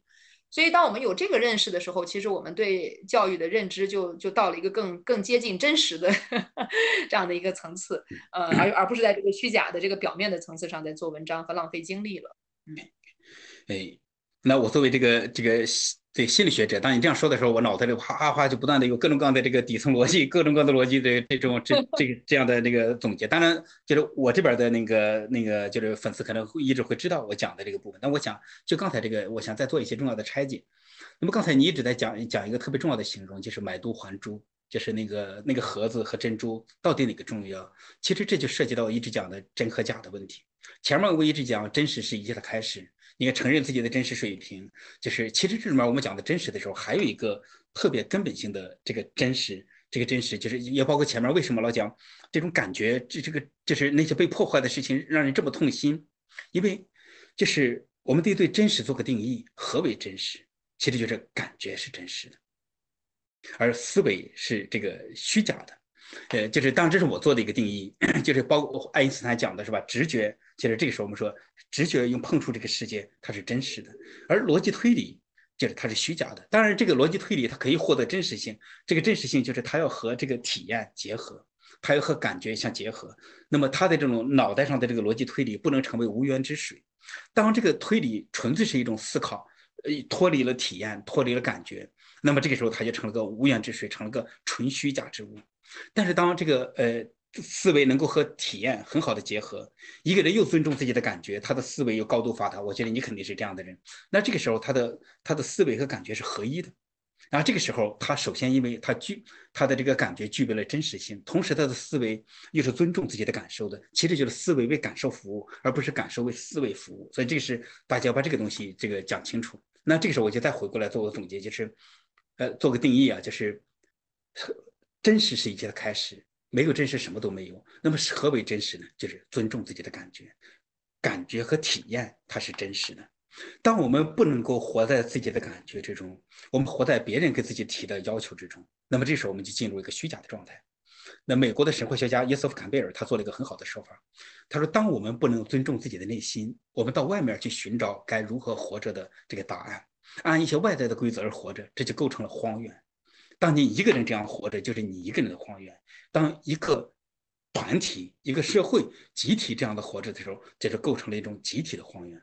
所以，就是他讲的是这么一个部分。但是，我想，就是我后来把这个部分做一个梳理，最终做一个特别重要的定义，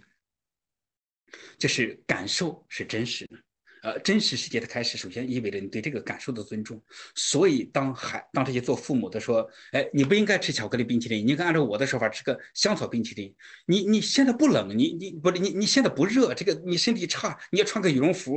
就是或者说这个你现在还没吃饱，你再吃一碗饭。我们认为这些都没什么，但这里面都藏着一个至关重要的问题，我们都对孩子的感受进行了破坏。当我们进行了破坏之后，这个时候就就是我自己在就是讲我自己在发明的一个逻辑，这是我自己讲的，我也没看别人这样讲。就是我们老讲这个呃 self，那自我，自我是什么呢？后来我就做了这么一个定义，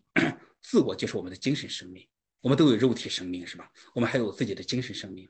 如果我们把自己的 self 理解为是这个。精神生命，那这个时候我们就知道自我它具备一个特别重大的这个部分，就自我就是我们的精神生命，而这个精神生命又从哪来的呢？蒙特梭利他也不断在讲这个逻辑，就是呃，感受是滋养孩子的精神胚胎的这么一个基本的养料。那我想再做这么一个简单的定义，我们的一份感受就是一份这个精神生命或者一份精神生命的养料。当我们这个感受，我们能够这个活在这个世界上，我们能够按照自己的感觉而活，这个时候我们的这份精神生命就活了，就存活了。但是当我们这份精神生命，我们的感觉被灭掉了，我们这份精神生命就死掉了。所以大家这个时候就明白，这个按照自己的感觉而活，其实就是不断的滋养自己的精神生命，然后自己的精神生命越来越强大，越来越强大。但另外一种活法看起来正确。就是要出人头地，要考第一名，要要怎么怎么样，要做这个能够挣到钱的这个这样的选择，你以为是对的，呃，但是假如在做这些选择的时候，我们都是在破坏自己的感受，就是结果就变成我们的精神生命越来越虚弱，越来越虚弱，那么最终就构成了这样的两个部分，而这个时候我们就就再回到这个买椟还珠的故事上来，就是那个珠，就是就是我们的精神生命，就我们真实的这些部分，当这个珍珠真正得到了滋养，得到了尊重，我们就获得了真正的力量。但是我们觉得那个外壳才是重要的，就是这这个这个我们的这个这个就是呃钱权名利的这个物质性的各种各样的这个外在的这些部分，认为那才是对的，那才正确的。而我们一直要打压自己的感受，结果我们那份珍珠就得到了破坏，我们这个珍珠也就就没法得到这个滋养，更不更不用说就是就是变大。那这个时候就变成看起来就是在学，我感觉在学校的时候差别还不是那么明显。你看，在学校的时候，有人也是精英啊，很聪明，是吧？就是因为在学校里，中特别中国式的学习，主要用脑袋来决定的，用思维来决定的。所以，只要一个人这个智商还 OK，他又努力，他的学习就会不错。所以那个时候，真实和虚假没有这么明显。但是到了职场上，我觉得这是一个非常至关重要的部分。你看到同样是这个名校出来，或者同样一个起点，就是有些好像大家看起来最初的条件都差不多的，但是有有一个人就。他的成长就变成了一个这样一个曲线，就是就是最初是成长一点点，但是一直没有出现根本性的成长，最终这个到了三十五岁以后出现三十五可怕的三十五岁定律，这个能力在下降。但是另外一种人，他的起点就是这么一种指数性的成长。我觉得其实就是取决于我们是尊重了自己的感受，以至于不断滋养自己的精神生命，还是说我们一直破坏了自己的感受？这这这，你的孩子是吧？他 的他的。OK，就是另外一种是我们破坏了自己的这个珍珠，破坏了自己的这个精神生命，结果我们一直处在一个比较就是虚弱的状态，甚至我们越来越虚弱。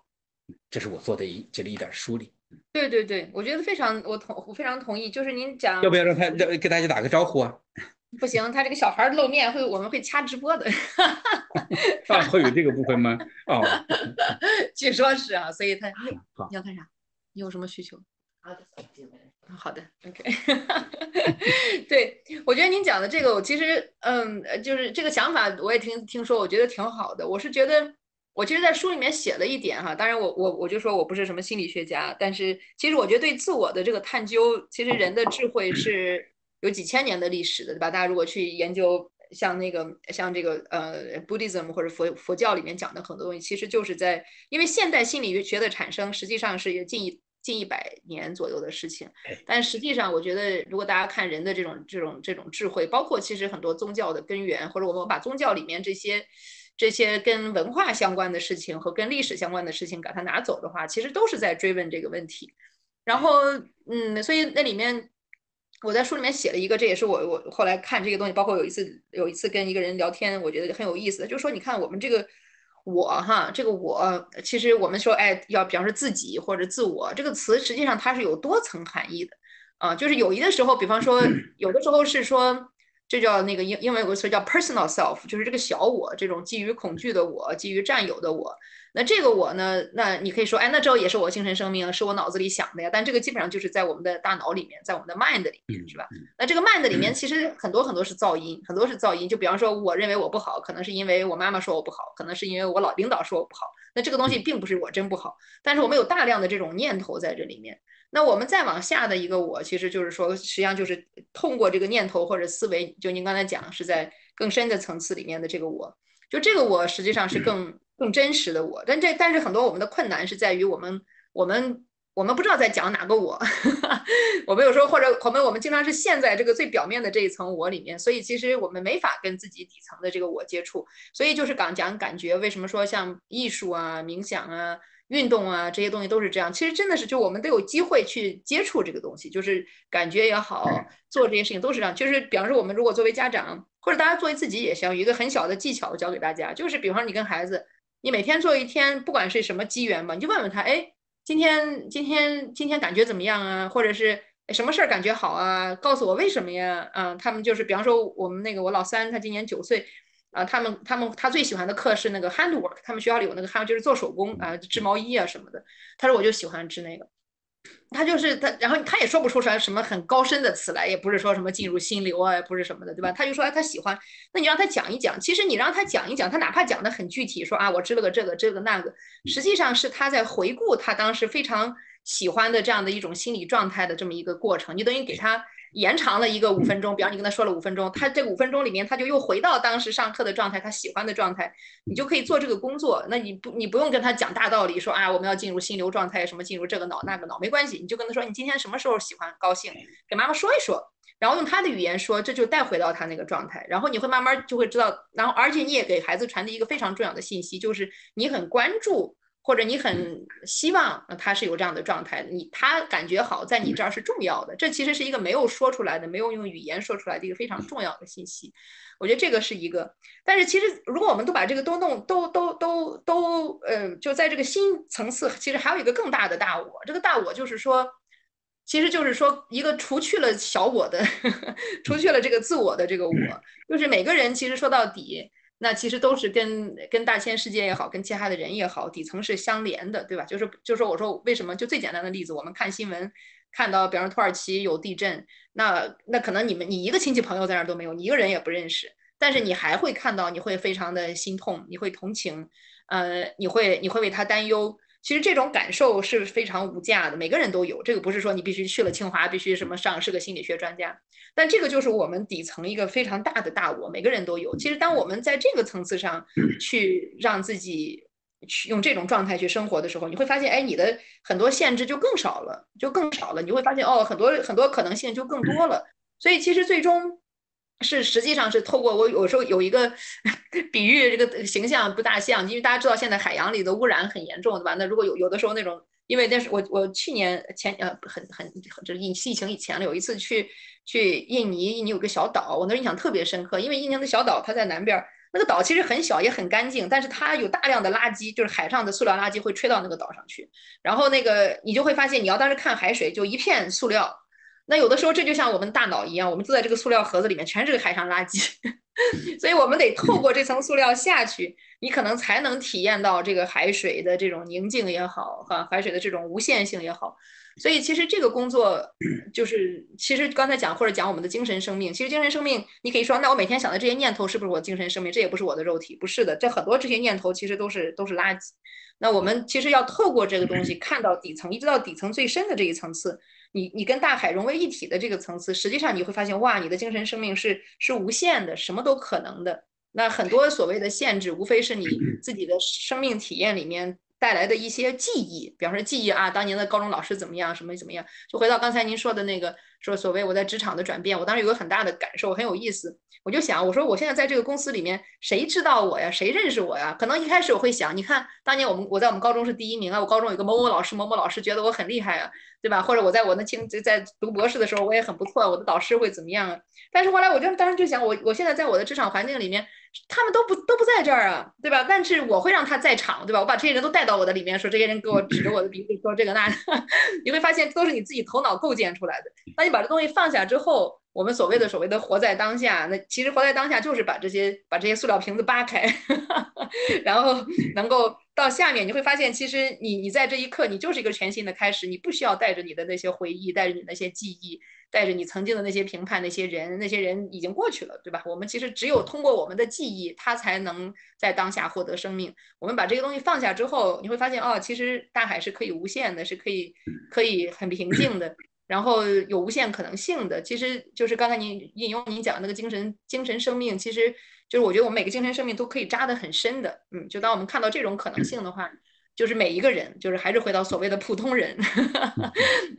都是有可能会可以可以做到，嗯，就是这样的一种状态。嗯，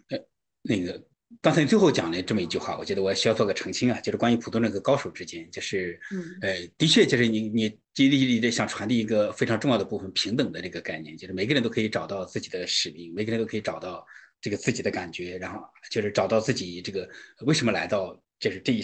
这个这一生是吧？就是。呃，自己的一些东西，呃，我想的确从这个意义上来讲是，但我想还有一个很残酷的部分，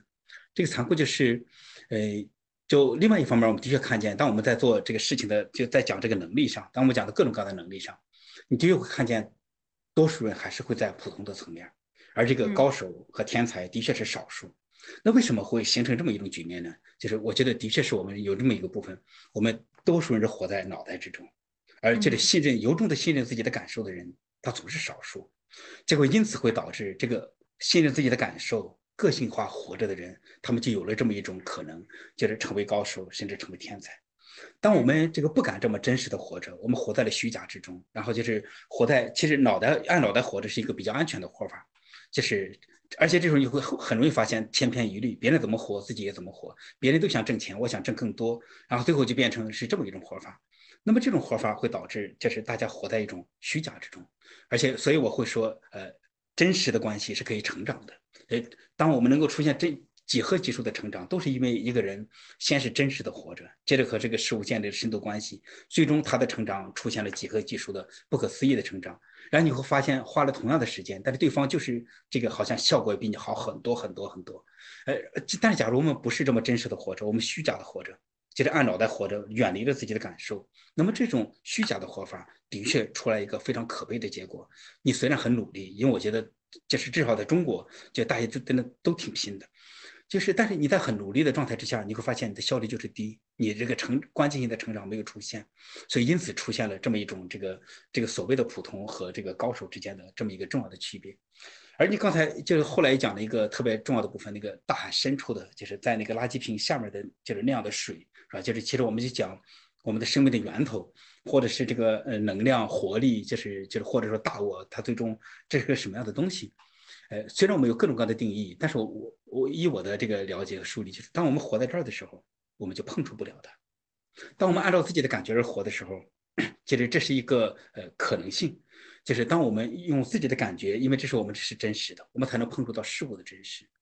当我们能够体验到合一的体验的时候，合一的体验的同时会必然会伴随着高品质的心流。那个时候你就发现，我就是你，你就是我，我觉得万物万物都是我。然后那个时候你就会进入了这个水源，进入到这个就是合一的状态之下。然后你发现，就是原来有一个源源不断的就是这么一个部分，而且那部分好像无生无死。然后这个时候你的恐惧也就放下了，然后就你发现，就是就虽然全然的放下恐惧，这是一个非常困难的事情，就是但是那个时候你发现哦，原来这甚至说的夸张一点，但是这个我就随便讲讲，就是你发现就算你死掉，好像也是回到这样的地方，那这个时候还有什么恐惧呢？就是对，那而而且这是这是所谓的存在，这是所谓的道，是吧？这是所谓的源头，而且你逐渐都会发现你的所谓的能力。你的所谓的创造性，所谓的很多东西，只不过在那个里头舀了一点水，就是就就就就是这样而来。但是，假如你不信任自己的感受，然后就你发现你根本都达不到这个地方，呃，就是就所以因此会出现了这样的部分。我们最终先是呃信任自己的感受，可能逐渐产生一点深度关系，成为高手。但是当我们逐渐的体验到这个合一的境界的时候，就是这个时候你可能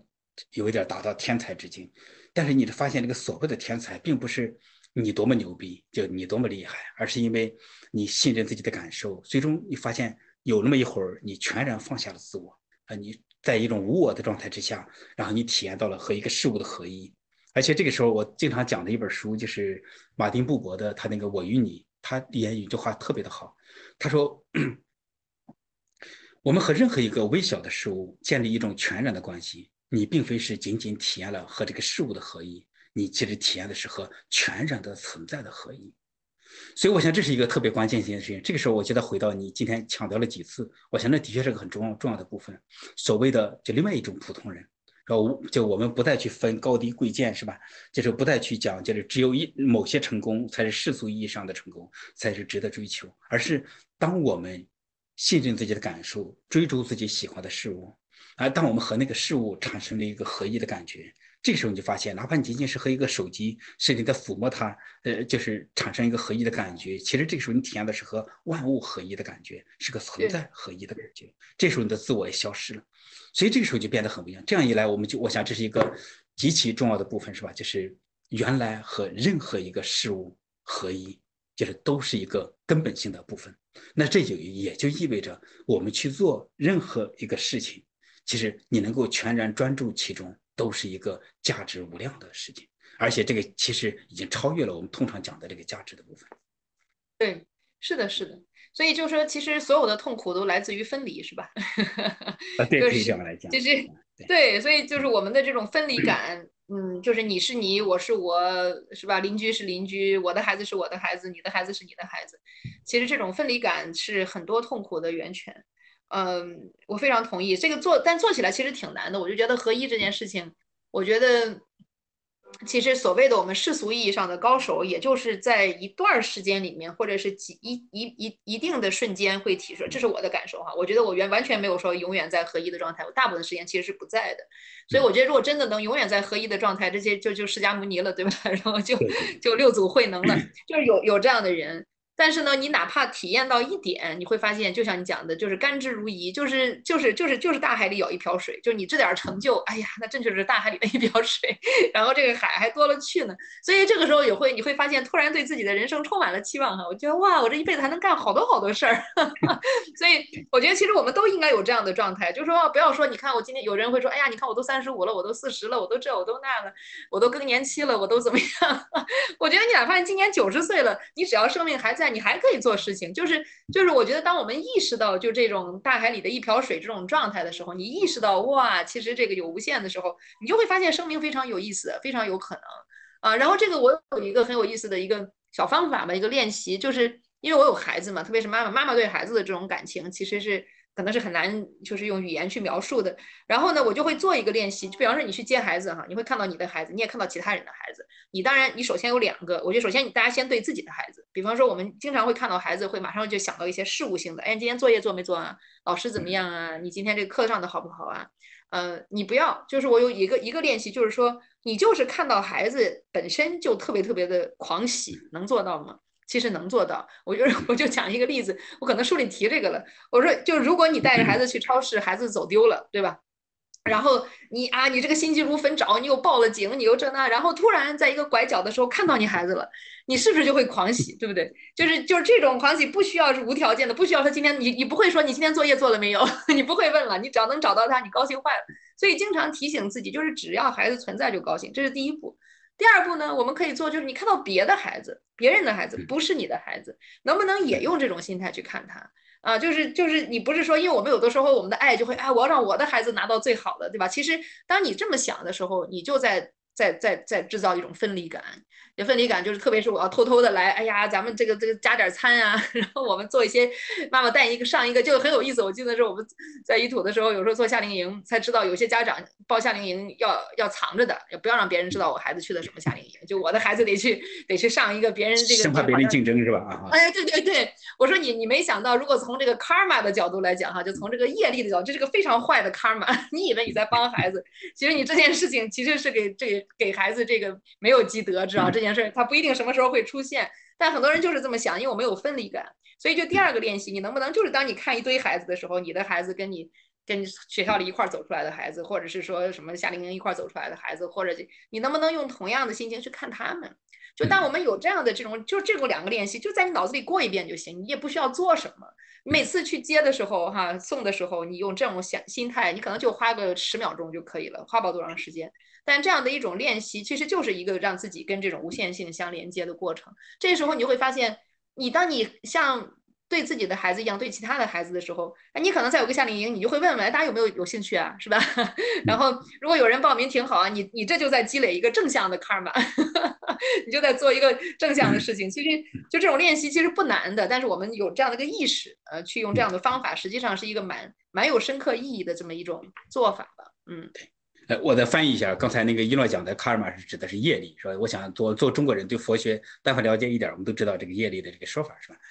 哎，就就这个时候，我想这是一个特别这个重要的这个部分，这个狂喜，就是那我想这个时候，我想再次把这个部分说一下。当我们就是作为孩子，能够在自己的父母那儿获得过这份狂喜，那这个时候感觉就非常的了不得。啊，你感觉到你的生命本身是被祝福的，你的自身的存在就已经就是具备了这个巨大的价值，是吧？就已经就是被另外一个人那儿就是无条件的接纳和肯定，就是而且这份狂喜，这真的是一个很深的肯定。但是很多时候我们会觉得我们好像没获得这个部分，或者你觉得至少是你不太记得或者怎么样。但我想在我们的生命之中，我们都可以通过自己的努力获得。这个努力就是试着全然的投入一件事情。当然，我们并不需要时时刻刻的全然的体验到。你哪怕只是体验过五分钟、十分钟，当然比较好，半个小时以上，是吧？你体验过全然的专注做一件事情，你就会体验到这份狂喜。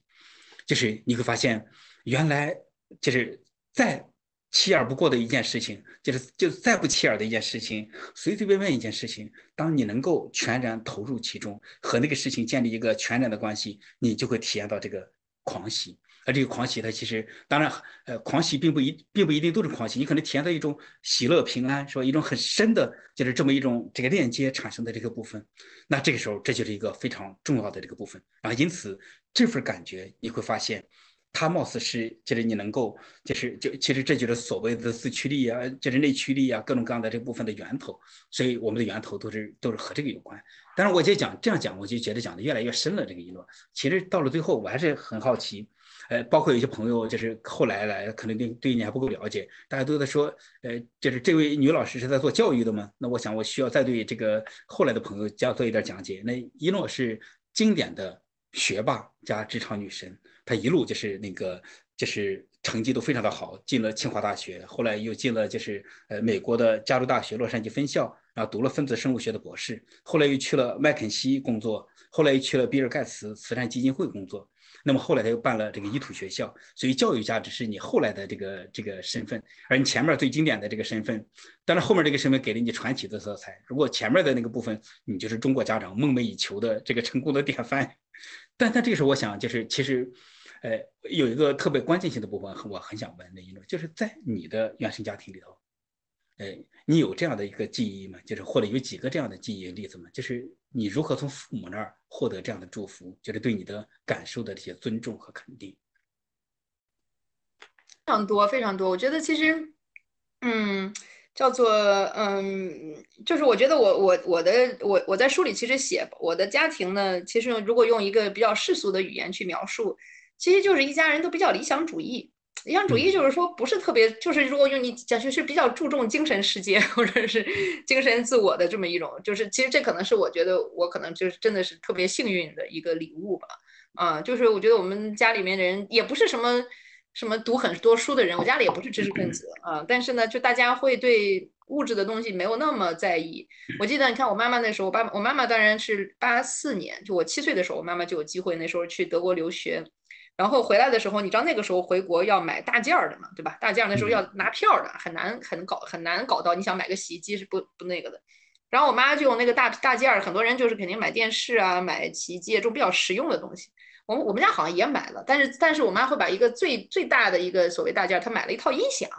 就在那个年代，就会就挺难，就是这东西有啥用？不能吃饭，也不能那个，不能洗衣服。就是这个，我就印象，就我妈喜欢听音乐啊，她就说那我就要买这个音响。那个音响当时是先锋的 Pioneer，我还记得那时候我第一次认识那个英文单词，就还是蛮贵的。就是嗯，就是我觉得我妈妈就对这些事情就很有，就我妈妈其实也就是个工人，或者就当时后来她当然是在化工厂，后来做到工程师，也是工农兵大学生，就是也不是说什么我们家不是什么书香门第。但是我觉得大家就会对这些事情更觉得更重要，所以呢，就从小就也没有说真正讨论过这些事情。但是你会知道，哎，大家对精神世界的东西是更是更看重的啊，或者是说觉得是值得去投入的，呃，包括我自己，我在书里面其实写了我当时在大学的一些经历，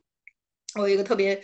就是我觉得我妈对我特别好的一个事儿，就是我当时刚去大学的时候，刚到清华的时候，实际上压力是非常大的，因为就是觉得哇，你看我在我们省里边第一，或者我们高中里面来了以后，就什么高手如云啊，就大家都有那种感受吧，嗯，那就压力很大。那时候我妈妈来看我，来看我，我当时周末我其实心里是很抵触的，因为我老觉得我周末还要还要上自习呢，对吧？我还要趁别人不在赶快补补课，是吧？笨鸟先飞也好，或者怎么样。然后呢，我就跟我妈说我压力很大，然后我妈说咱那个。那个压力大，就一天咱们不干了，咱出去玩去。然后就是就是就是你他跟一般的父母会不一样，就是那时候我觉得，嗯，一般的父母就会说哇，那赶快点吧，我想办法是吧？咱这一别人一天学八个小时，你一天得学得学十个小时，你才能赶上。没有，我妈那时因为我记得那时候可能是我期中考试考的不好吧，反正就肯定不是说我做的很好，肯定是不是说我觉得我很成功，我很厉害。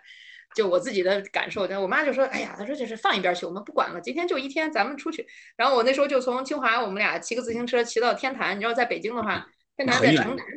啊，对。然后清华很远，我们俩骑自行车去的，我那个印象就特别深刻。我们就啊，就去去天坛玩。我那时候想，那时候我也是刚去北京嘛，就哇，天坛想都不敢想的地方哈，觉得很远。我就跟我妈妈，我妈妈就骑自行车，我们俩就就就就去就去趟天坛。像这样这种事情，其实对我的影响是非常大的。就是说，其实是。对，就是并不是说他帮你找找了个名师，帮你把这个 什么高等数学学得好一点哈。我们会，我就说嘛，就是我们对路径是有误解的，我们会认为路径说啊，我要想在清华变好。那我就应该，我高等数学考得差，我就找个高等数学老师补高等数学，对吧？那我们一般我们脑脑子里面想的路径，往往其实是错的。其实反而的路径是说啊，我妈说我们不学了，我们走，我们出去玩去，我们放松一下，然后回来你的状态会不一样。所以我觉得我妈才是教育家，但她也没有说过什么，就是她就是有这种很朴素的这样的一种。能够看到就是人底层的需求吧，我觉得啊，所以我觉得这个我是非常非常受益的。就类似我我里面有很多这种小故事，包括我那个我讲我姥姥也是，我姥姥我就讲我不是大家认为的所谓的家里逼着那种学霸。我姥姥那时候我因为我大时候小学经常这个作业就我做寒假作业了，大家知道吗？一一一一一放假就给你一一本作业，对吧？现在想想都是对孩子孩孩子的 摧残。人家放假你为人给人一本作业让人做。然后我每次都拖到最后一个，然后拖到最后一步，然后后来在我姥姥家那个院子里，我姥姥就每天拿这个扇子，然后我们家山东人嘛，拿大蒲扇。然后那个放一个那个放一杯水果，然后让我在那做作业，然后我做不完做不完，我姥姥就在那儿骂老师骂学校，说啊为什么孩子布置这么多作业？就是就我觉得就特别好，从来没有说你为什么不早点做啊，你为什么不早点计划，就从来没有批评我，都是老师的错，都是啊这个孩子这个这个这个放个暑假做这么多作业，这这是不不对的。所以我觉得就这些实际上是其实说说到底就是一种对孩子的这种认可，或者就对你是无条件的，是吧？有问题不是你的，我觉得这个实际上是对我影响蛮大的吧，这些小故事，嗯，其实就是对孩子的自我的这个尊重和肯定，是吧？就是，嗯，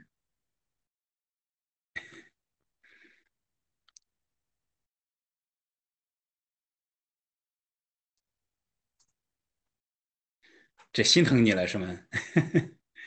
他们他们该睡觉了，跟我说他要睡觉了。睡觉。好吧，好吧，好吧，那咱们去睡觉，马上好了，好不好？嗯。对，再有十几分钟是吧？这次咱对，再十几分钟啊。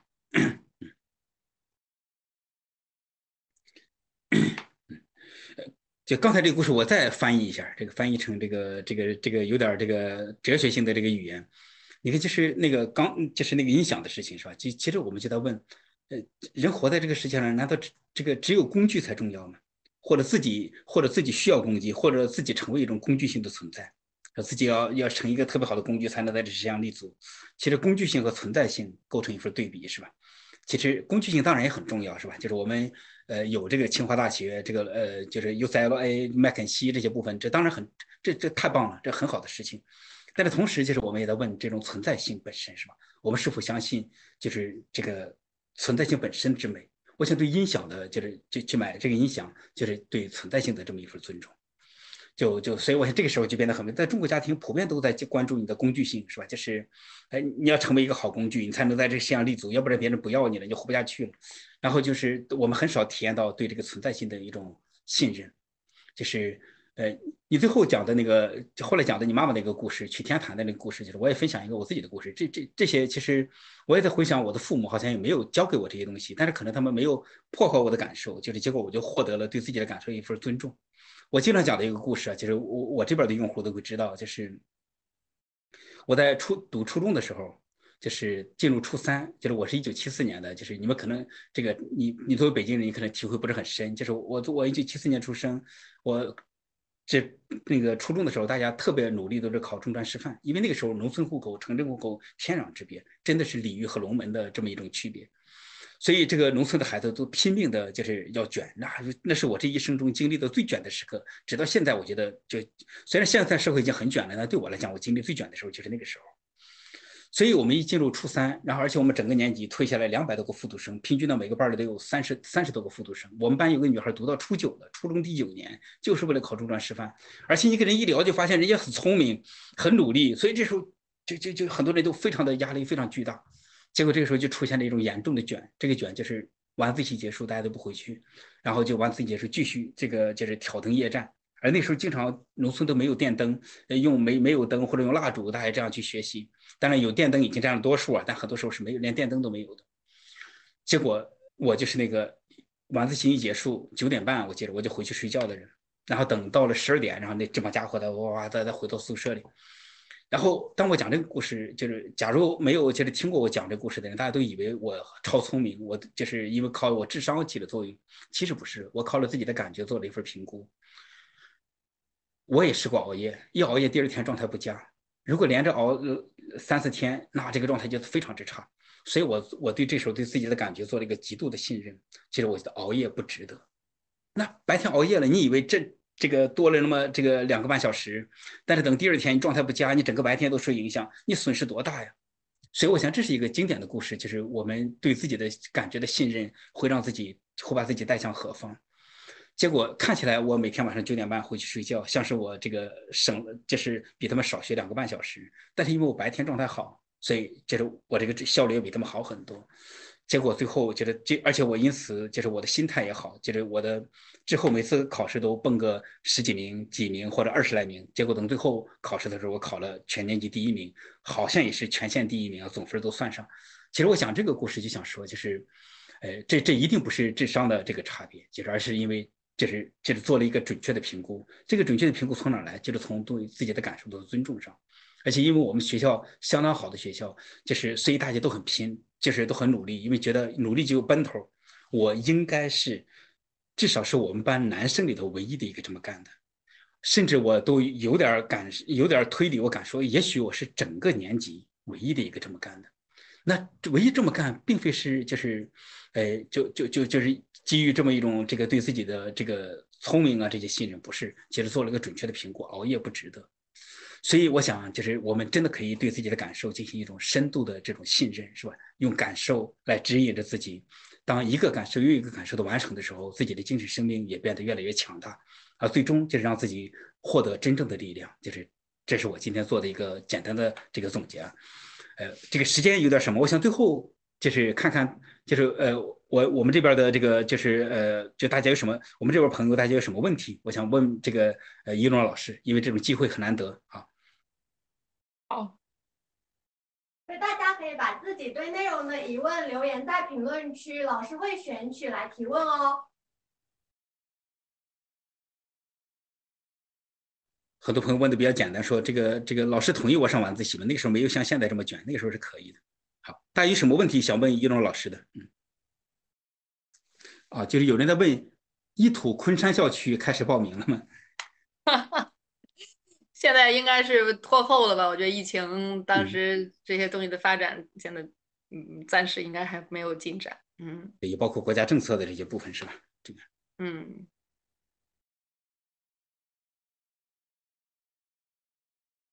哎，其实有一个问题也很很关键，就是我我想你作为这个教育家，你应该会知道这个 ADHD 这个该怎么办。哦，这个我其实 不是专家，因为这个在 美国他们有一个专门叫特殊教育，其实叫特殊需求的儿童。嗯，呃，但是其实我想有一个，嗯，有一个这个，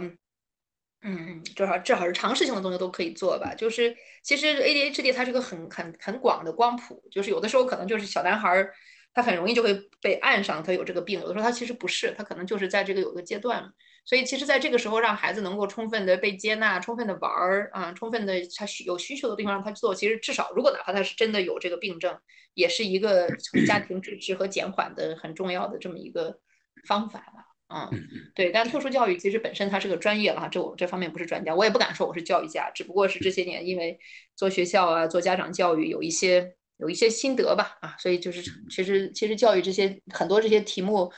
讲到一些具体的问题，还都是蛮深的，嗯。可以可以，哎，我觉得有一个部分就是有人在问，其实其实我想，如果如果我是年轻人，我应该是特别想问你这个问题，就是找工作的方向要怎么探索？呃，我想把这个话也再翻译一下，其实就想其实很想分享一下，希望你分享一下你的这个职场上，就是呃。就如此成功，是吧？就是，呃，虽然你老说每个普通人都有自己的这个部分，但我想大家可能还是很香，很希望你分享一些，就是就是，假如让你总结三五句话，就是三五个原则，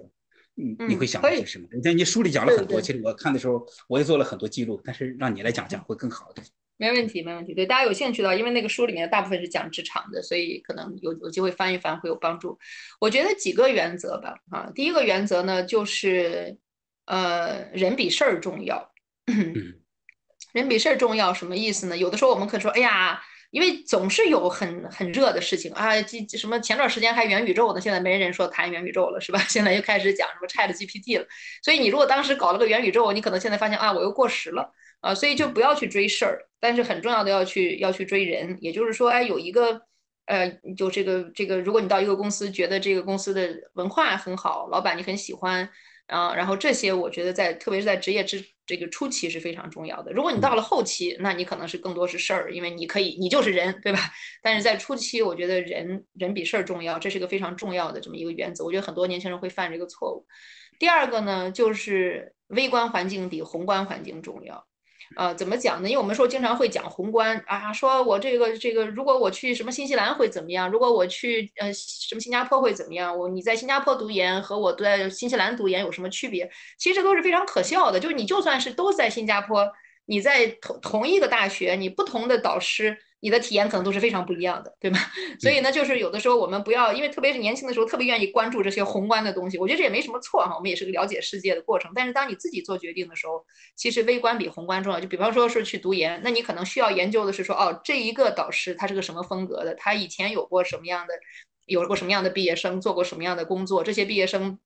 在这个实验室的体验是怎么样的？就这些事情可能对你的就是具体的前途的影响要远远大于说啊，这个这个实验室是在新西兰还是在新加坡，是在哪个大学？当然不是说我们不在乎，但是这这些事情，这个我觉得是第二个也是非常重要的。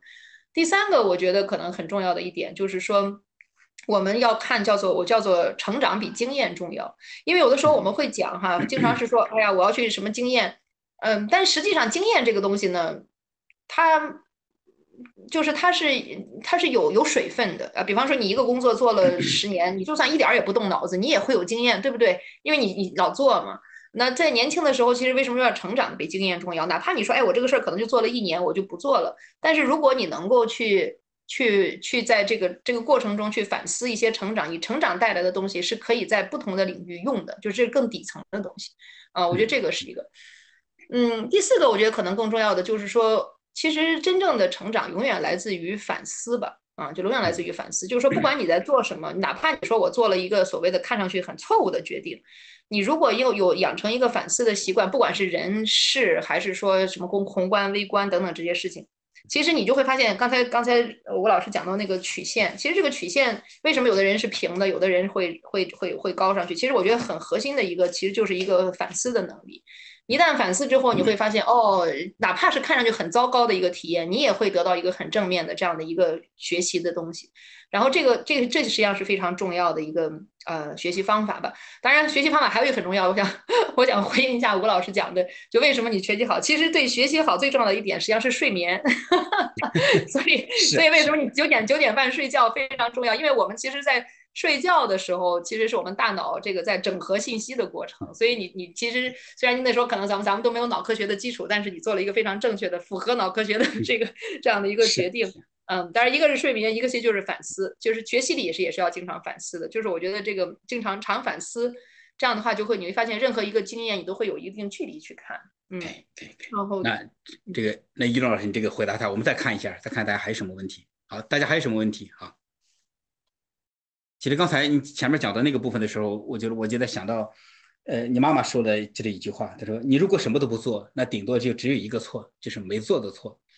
呃，如果你只要做事情，就很容易因为各种原因生出很多错。也所以我们得试错。今天其实你无形中提了多次说试错，我想你之所以这么敢尝试，不断的发生各种各样的变化，做各种各样的非常不一样的选择，我想这个时候其实你对自己的试错是有足够的这个接纳信任的，就是我想这是一个特别重要的部分。”好，我们再看看大家还有什么问题。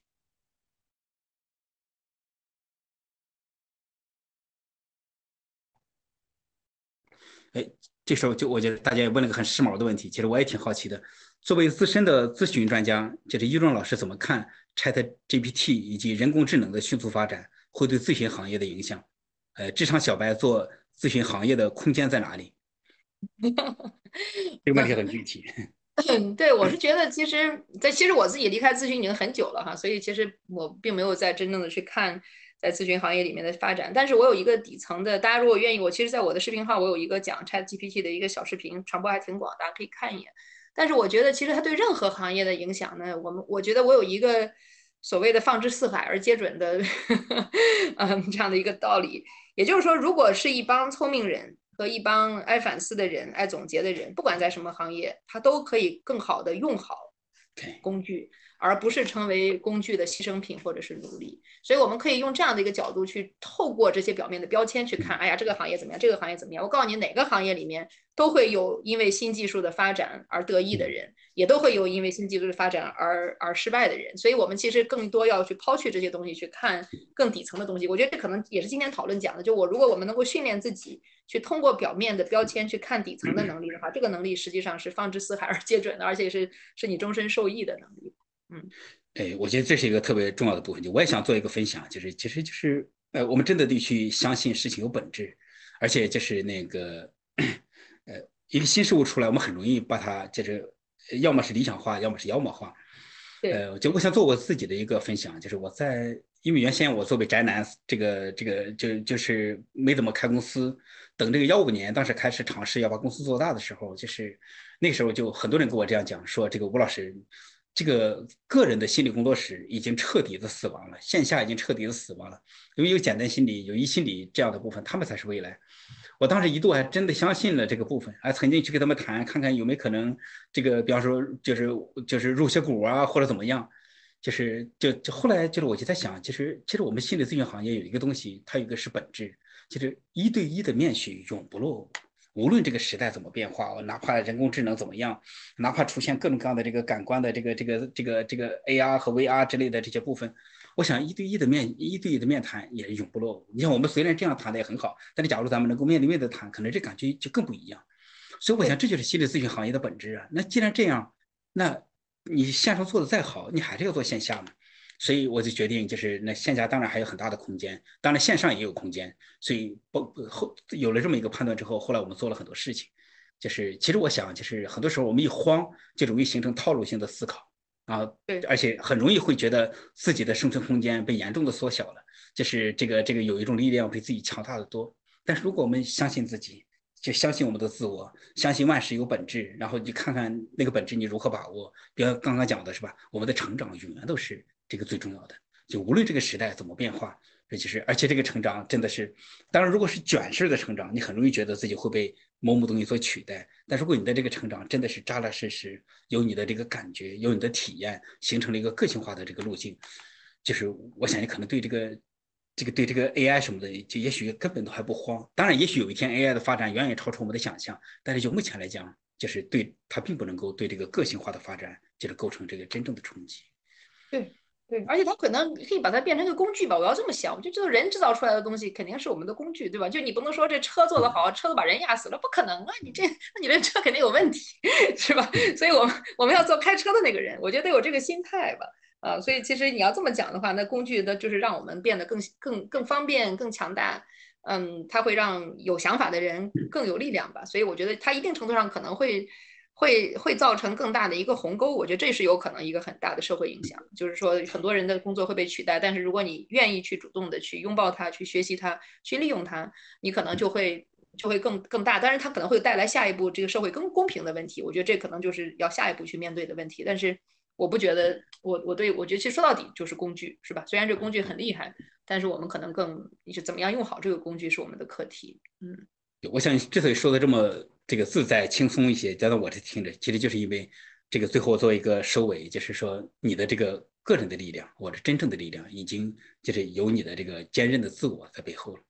啊，就所以说，当我们有了这么一种这个真正的这个有力量的自我的时候，你看这时候就变得很不一样。说我们是不容易被各种各样的东西所撼动，然后而且追时髦各种各样的部分，因为我们都知道，就是有这个稳稳的自我在这儿，而且这时候也会相信万事万物有本质，就是所以这是我看见的部分。越有这个这个健康自我的人，他们越相信外部世界有本质、有规律存在。嗯，是的，OK，您总结的非常好，谢谢。好，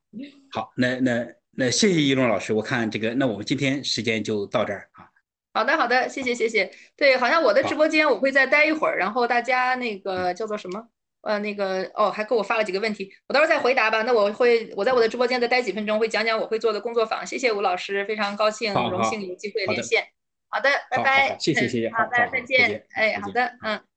哎。